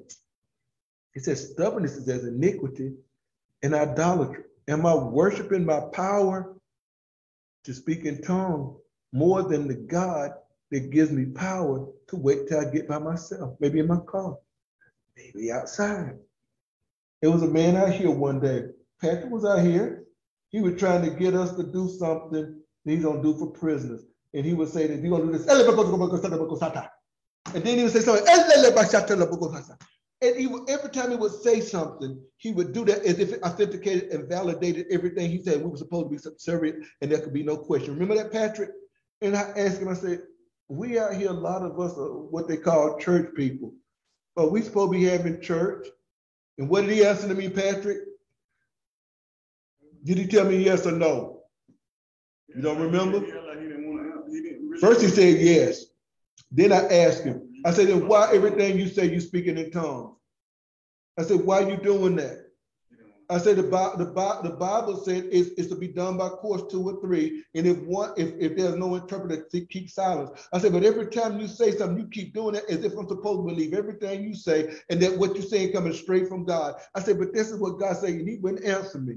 As a matter of fact, I ain't gonna address, they said, ask Pastor uh, Gray. Then he came and asked Pastor Gray. I said, I said Pastor Gray didn't, say, didn't do that, you did. I wasn't being mean, but you out here doing stuff in my ear hole. You doing all this stuff to me. And then you saying stuff, and then you do this walk, and you do this like this, like you done said something great, and you being rebellious. So after that, he said he wasn't going to address me. He shunned me. Bible says in, First Peter, and I told him, I said First Peter 3 and 15 says, Sanctify the Lord God in your heart, be ready always to give a man an answer for the reason of the hope that's in you with meekness and fear. Where's your God then? I ain't telling you I know everything, but doggone, we better we better get our mind right because the world is looking. Imagine I'm in a group when I used to go speak at the school at the college and think about all those atheists, Buddhists, and all those different kind of people there at the college. And then I go to and they ask me what did that mean, and I say I ain't gonna answer you. I ain't gonna because those people that were in some of the classes there, they would stay after class. It's kept talking to me. I remember one time I went there in the, in the assembly. What's that called? What hall is that, Gary? I forgot. When I used to go there, it was called uh, it's a lunchroom. They had a name for it. Is it civic activities room? Student activities building.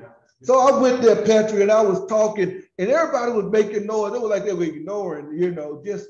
And I said, "In the beginning, God created the heaven and earth, and the earth was without form and void, and darkness was upon the face of the deep. And the Spirit of God moved upon the face of the water. And God said, Let there be light. And there was light. And God saw the light that it was good. And God divided the light from the dark. I was just going through because I'm getting ready to make a point about something. And did everything get quiet? Oh, Oh, everything got quiet at the word of God. And after class, we had discussions. They could ask questions things like that. We can't answer questions because we too big. We got a problem. The curse of the Holy Spirit is taking it for granted and not obeying him. So with that, I'm going to close the meeting. I mean, just close it and go to discussion, but this is the point. Pentecost, Shavuot, was the thing that was to prepare us to go out in resurrection power to know what we're supposed to do. We're not supposed to be children. If I'd have read 1 Corinthians 14 and 20, I better read because somebody say he just making that up as he go. All of this is about spiritual gifts. Paul says in 1 Corinthians 14 and 20, brethren, be not children in understanding, how be it in malice be ye children, but in understanding be men. Grow up. Grow up. Quit playing. Quit pleading the blood when you do dirt. Quit doing dirt. Let the blood mean something good for you. Father, I thank you for your word. I thank you for trying to equip us to be a perfect man, to reach the measure of the stature of the fullness of your son, that we won't be tossed henceforth to and fro by the sleight of men and craftiness whereby they lie in wait to deceive us, that we might grow up into him, the head, your son, even the Christ. Help us, I pray, in the blessed name of your Messiah, Jesus the Christ. Amen, amen, and amen. Our class is open for discussion for rebuttal. You can tell me how much you hated what I said, if that's the case, or you can even add to what I said. It's open discussion time. Ah, oh, it was very, very, very. And, and Brother Marshall joined us. You still on with us too, Brother Marshall? You had to go. That's okay if you if, if you want to. Okay.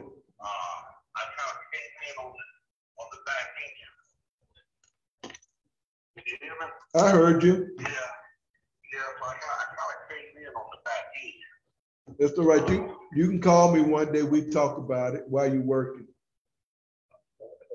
Yeah. So I'm just, I'm gonna kind of mute you because I got some other stuff going on. I'm just over there. All right. All right, Dr. Marshall. Any, okay. Anybody else? Gary, you were getting ready to say something, and I thought it was going to be good.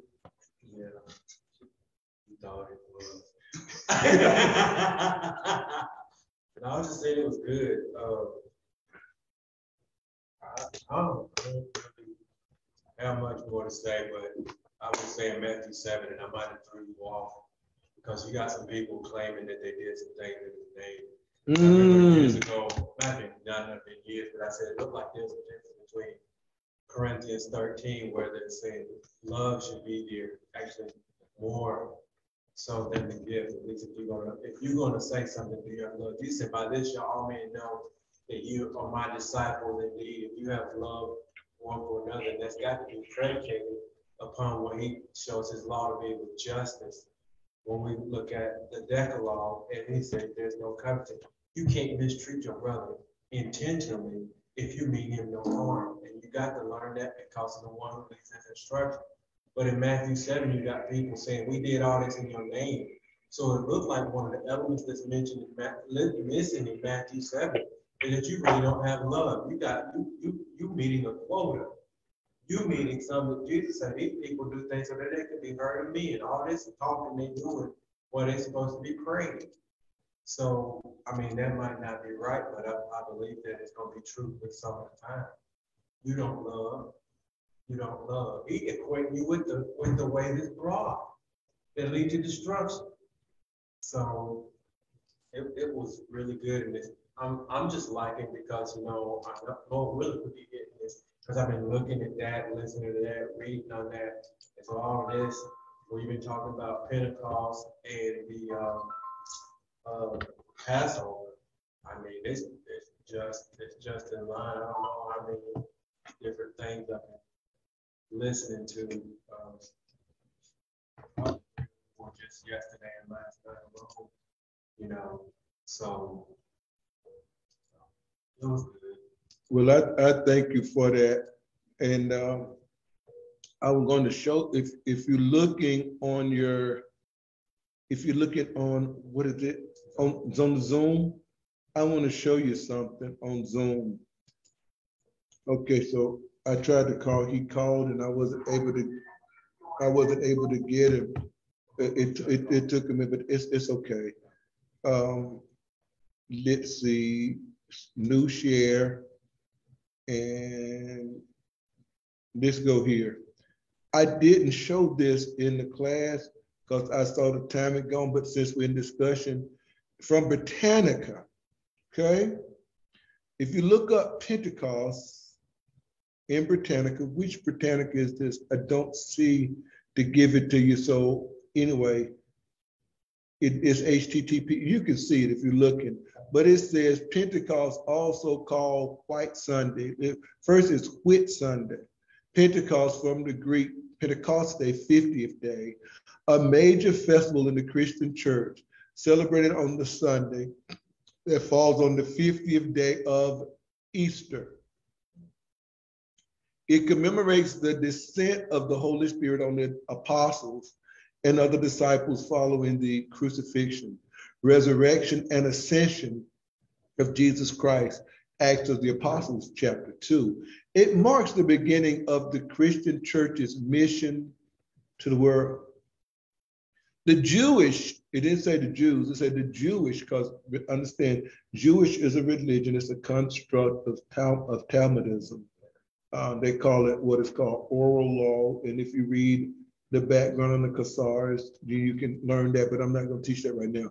The Jewish feast of Shavuot was primarily a thanksgiving for the first fruit of wheat harvest, but it was later associated with the remembrance of the law given by Moses on Sinai, the church's transformation of the Jewish feast to a Christian festival was thus related to the belief that the gift of the Holy Spirit to the followers of Jesus was the first fruit of a new dispensation and fulfilled and succeeded the dispensation of the law, which means it is no longer under the auspices of the Israelite or the Jews, that Nash church. If you look at the people right here as you go, you get a chance to see the people uh, that really are in the position of doing this thing with Easter. And it says when the festival was first celebrated in the Christian church, it is not known, but we do know when the Most High set it up. In the first year after they came out of Egypt. Now it says it was mentioned, it said it was mentioned in the work of the Eastern church the Epistula Apostolorum in the second century. And in the third century, it was mentioned by Origen, theologian, head of the catechetical school of Alexandria, and by Tertullian, Christian priest and writer of Carthage. And you go down and it says in the early church, Christians were referred to the 50th day period beginning Easter as Pentecost. Baptism was administered both at the beginning of Easter and at the end of Pentecost of the Paschal season. Eventually, Pentecost became more popular for a time of baptism than Easter in Northern Europe. Remember, I said they brought their form of Christianity to us and put it on us and captured us and stole us and enslaved us, and beat us and put us on ships while they raped and fed some uh, croc, I mean, not crocodiles or sharks. But they bring in Easter from Northern Europe and England, and it says the feast is commonly called, look at it, White Sunday. I didn't make that up. White Sunday, and in parentheses, Whit Sunday, for the special white garments worn by the newly baptized. In the first prayer book of Edward the Sixth, 1549, the feast was officially called Whit Sunday, and this name is continued in the Anglican Church. The Anglican, Anglican Church is where you get the Holiness Church from. You see, the Anglican Church came from King Henry VIII, and King Henry VIII is where you get the Moravian Church. I mean, you know, from the Anglican Church of the Church of England. And then uh, when you get the Moravian, you get what it's called the Methodist. And from the Methodists, that's where you get the holiness. And this is where your Pentecostalism, it has its roots in the Anglican Church. We had its roots in the Roman Catholic Church, which had its roots in things that they had done when they came away from coming away from the Holy Scripture that was written to the first people that the Most High gave it to. And it became totally like the Sunday that it represents. It says in the Catholic and other Western church, priests often wear red vestments during Pentecost to symbolize tongues of fire that descended on the disciples from the Holy Spirit. Members of the congregation still wear red in some tradition, and the altar is commonly dressed in red frontal cloth. And then as I slide down for those that's looking, they get to see the epiphany. They see none of us represented in the epiphany. And then when you go down and show baptism, they see this man that look very effeminate and he's, I guess he's supposed to be the Jesus. And then you see all these other people. And then you just keep looking and you see, and then you'll hear people say stuff to Tim. Uh, God doesn't see color, but I've been doggone. I see a color. I do. And I just see the things that they do. I just thought I would just bring that out that people could see. Things, things, things matter. Any other comment on our class today? No, you got one? Go ahead, Patrick. No, put the microphone toward you. All right. What you got? Um, you were, It's okay. you were in, um, actually, before that, when you, when you were just reading what you were reading, About White Sunday? yeah, but even before that, um, we're talking about how it's the feast of the weeks and they're celebrating the first fruits. Mm-hmm. And, um, it made me think of Christ being the first fruits. Yeah. First Corinthians fifteen, as it pertains to, um, the resurrection. Mm-hmm. dead. And, um, it also, I think of the giving of the law to, and how it talks about, I believe it's Psalm seventy-eight, about the law being inheritance. Given to Israel, maybe even Deuteronomy thirty-three, similar, Mm-hmm. but, um, also, when, um, when you were talking about, um, as far as in Acts two, when the Holy Spirit came upon them, uh, like tongues of fire. Mm-hmm. Um, and how it's related to, um, the fire on the mount. And, um, and it- also made me think of, uh, I believe it's Isaiah four, where it talks about, um, the spirit of judgment and the burning. all Mm. those Mount Zion. So, um, all of the people together are to be, are to be Zion and all the people in- that are Zion are part of it. And, um, the fire upon each of them is symbolic of that as well. Um, even when you think about an inheritance, um, we're to be born of the water and of the spirit, so that's how we're born of God. And so they were, um, they were born again when that happened on that day for them.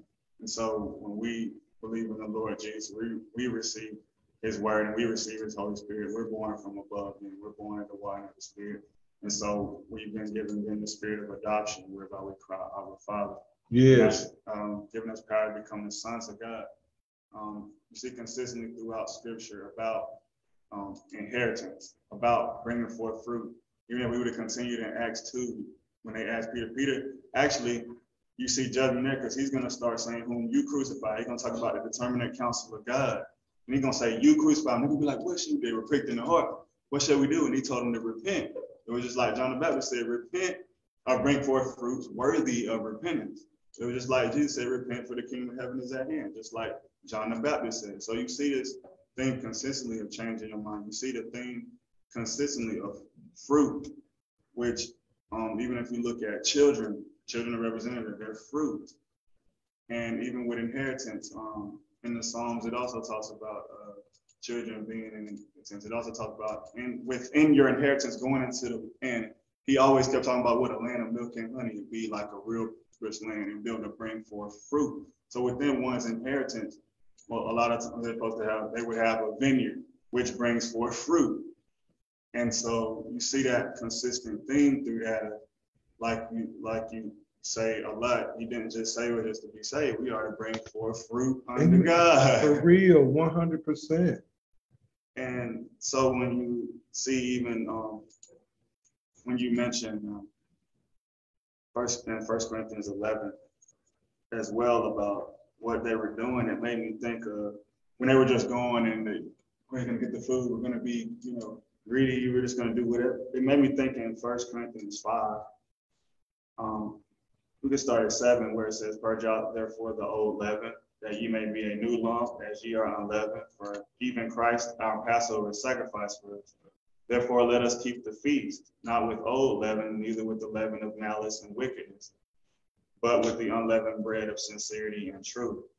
I wrote unto you in an epistle not to company with fornicators, as you did mention, that yet not altogether with the fornicators of the world, or with the covetous, or extortioners, or with idolaters, for then must ye needs go out of the world. But now I have written unto you not to keep company. If any man that is called Called. brother be a fornicator, or covetous, or an idolater, or a railer, or a drunkard, that was mentioned in First Corinthians, or an extortioner, with such an one know not to eat. We don't do that, do we? We don't, we don't care about what God's words say. And so that ties in with in First Corinthians eleven. That ties in even in the other chapter where um in the chapter where it talks about with the communion um of of God. Oh, that's in First Corinthians 10. So right before he was talking about judgment in First Corinthians 10. Then he moves and he goes back to talking about it again in First Corinthians 11. Because in First Corinthians 10, we saw where it talked about they were baptized under Moses in the cloud and the sea. They all ate the same spiritual meat. They all drank the same spiritual drink, for they drank of that spiritual rock that followed them, and that rock was Christ. But with many of them, God was not well pleased, for they were overthrown in the wilderness. And, and notice this, when you read that, these are people that got his law. That's the six, that's the six hundred five thousand. Plus, some more, some more got to die. Right. Keep going, Patrick, that's good stuff. Um, now, these things were our examples, like when you talk about type shadow. These things were our examples to the intent we should not lust after evil things as they also lust. Neither be ye idolaters, as were some of them. As it is written, the people sat down to eat and drink and rose up to play. So even with what it said in chapter 11, rising up just to eat and drink and play and be joy, but you're not doing what And they were, and they were naked. Yeah. They And they were, they were doing the naked, okay? And, and, and then the next, neither let us commit fornication. So the next verse, See, the next verse, they, some people get naked before they fornicate, okay? neither let us commit fornication, as some of them committed. Oh, we don't talk about this. Why they don't talk about this? Neither let us commit fornication, as some of them committed and fell in one day three and twenty thousand. Neither let us tempt Christ, as some of them also tempted and were destroyed of serpents. Neither murmur ye, as some of them also murmured and were destroyed of the destroyer. Now all these things happen unto them for ensamples. And they are written for our admonition, upon whom the ends of the world are come. Wherefore let him that thinketh he standeth take heed lest he fall. All They think you can just keep saying something, just, boy, people, you just doing it. It's like, but you thinking you stand, but you, you, Lee over there, you falling. You falling. There have no temptation taken you, but such as is common to man. But God is faithful, who will not suffer you to be tempted above that ye are able, but will with the temptation also make a way to escape, that ye may be able to bear it. See how good he is? Indeed. Wherefore, my dearly beloved, flee from idolatry. I speak as to wise men, judge ye what I say. The cup of blessing which we bless, is it not the communion of the blood of Christ? The bread which we break, Wait a minute, the cup of blessing which we, which we bless, Mhm. and the cup that we drink. And the same cup that's in chapter fourteen, they say you drink it, not discerning the body of the Lord. It's quite consistent to say, don't play with, don't play with that with your mouth, because you, you, you can blaspheme and be irreverent with your mouth.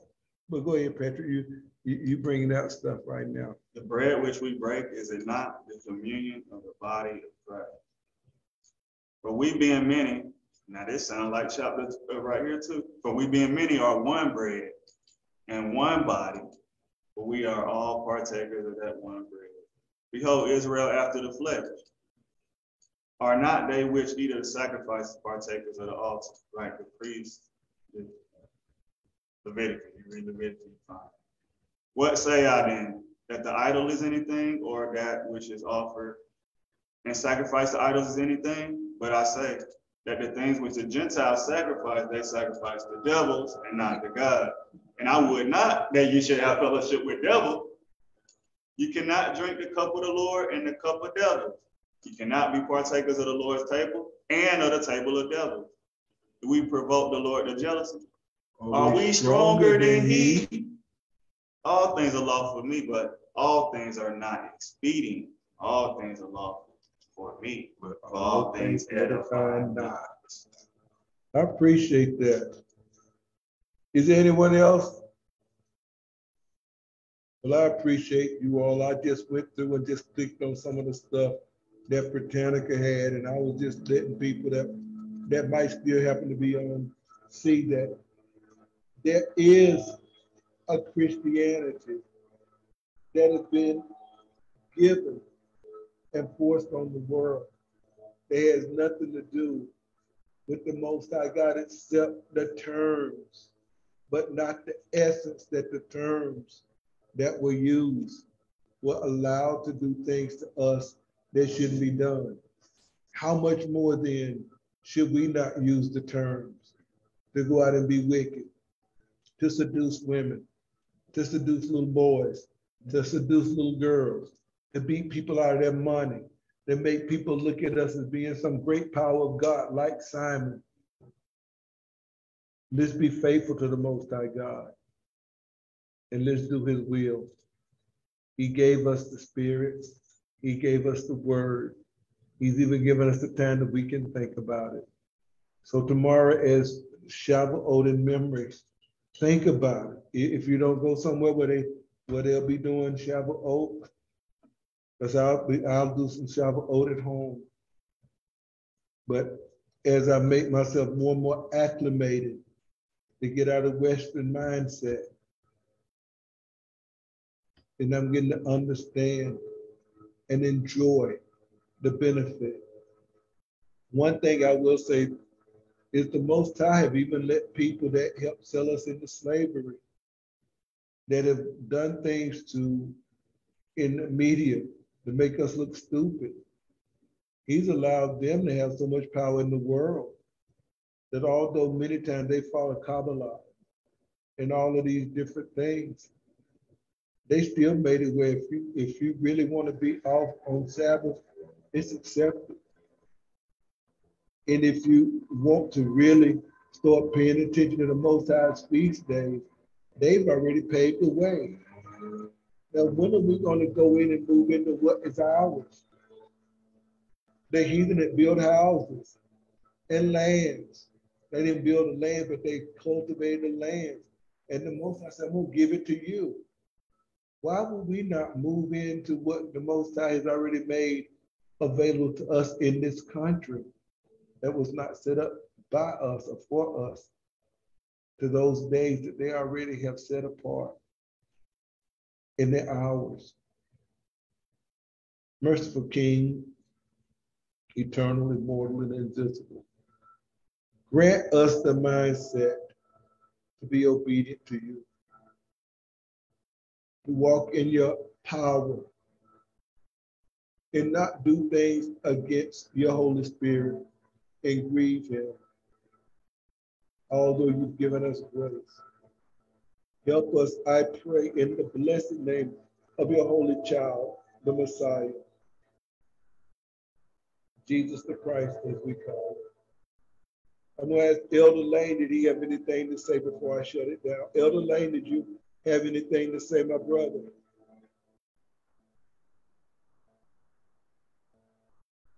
I don't think so. Well, I appreciate everybody joining us, and let's get back together on Tuesday.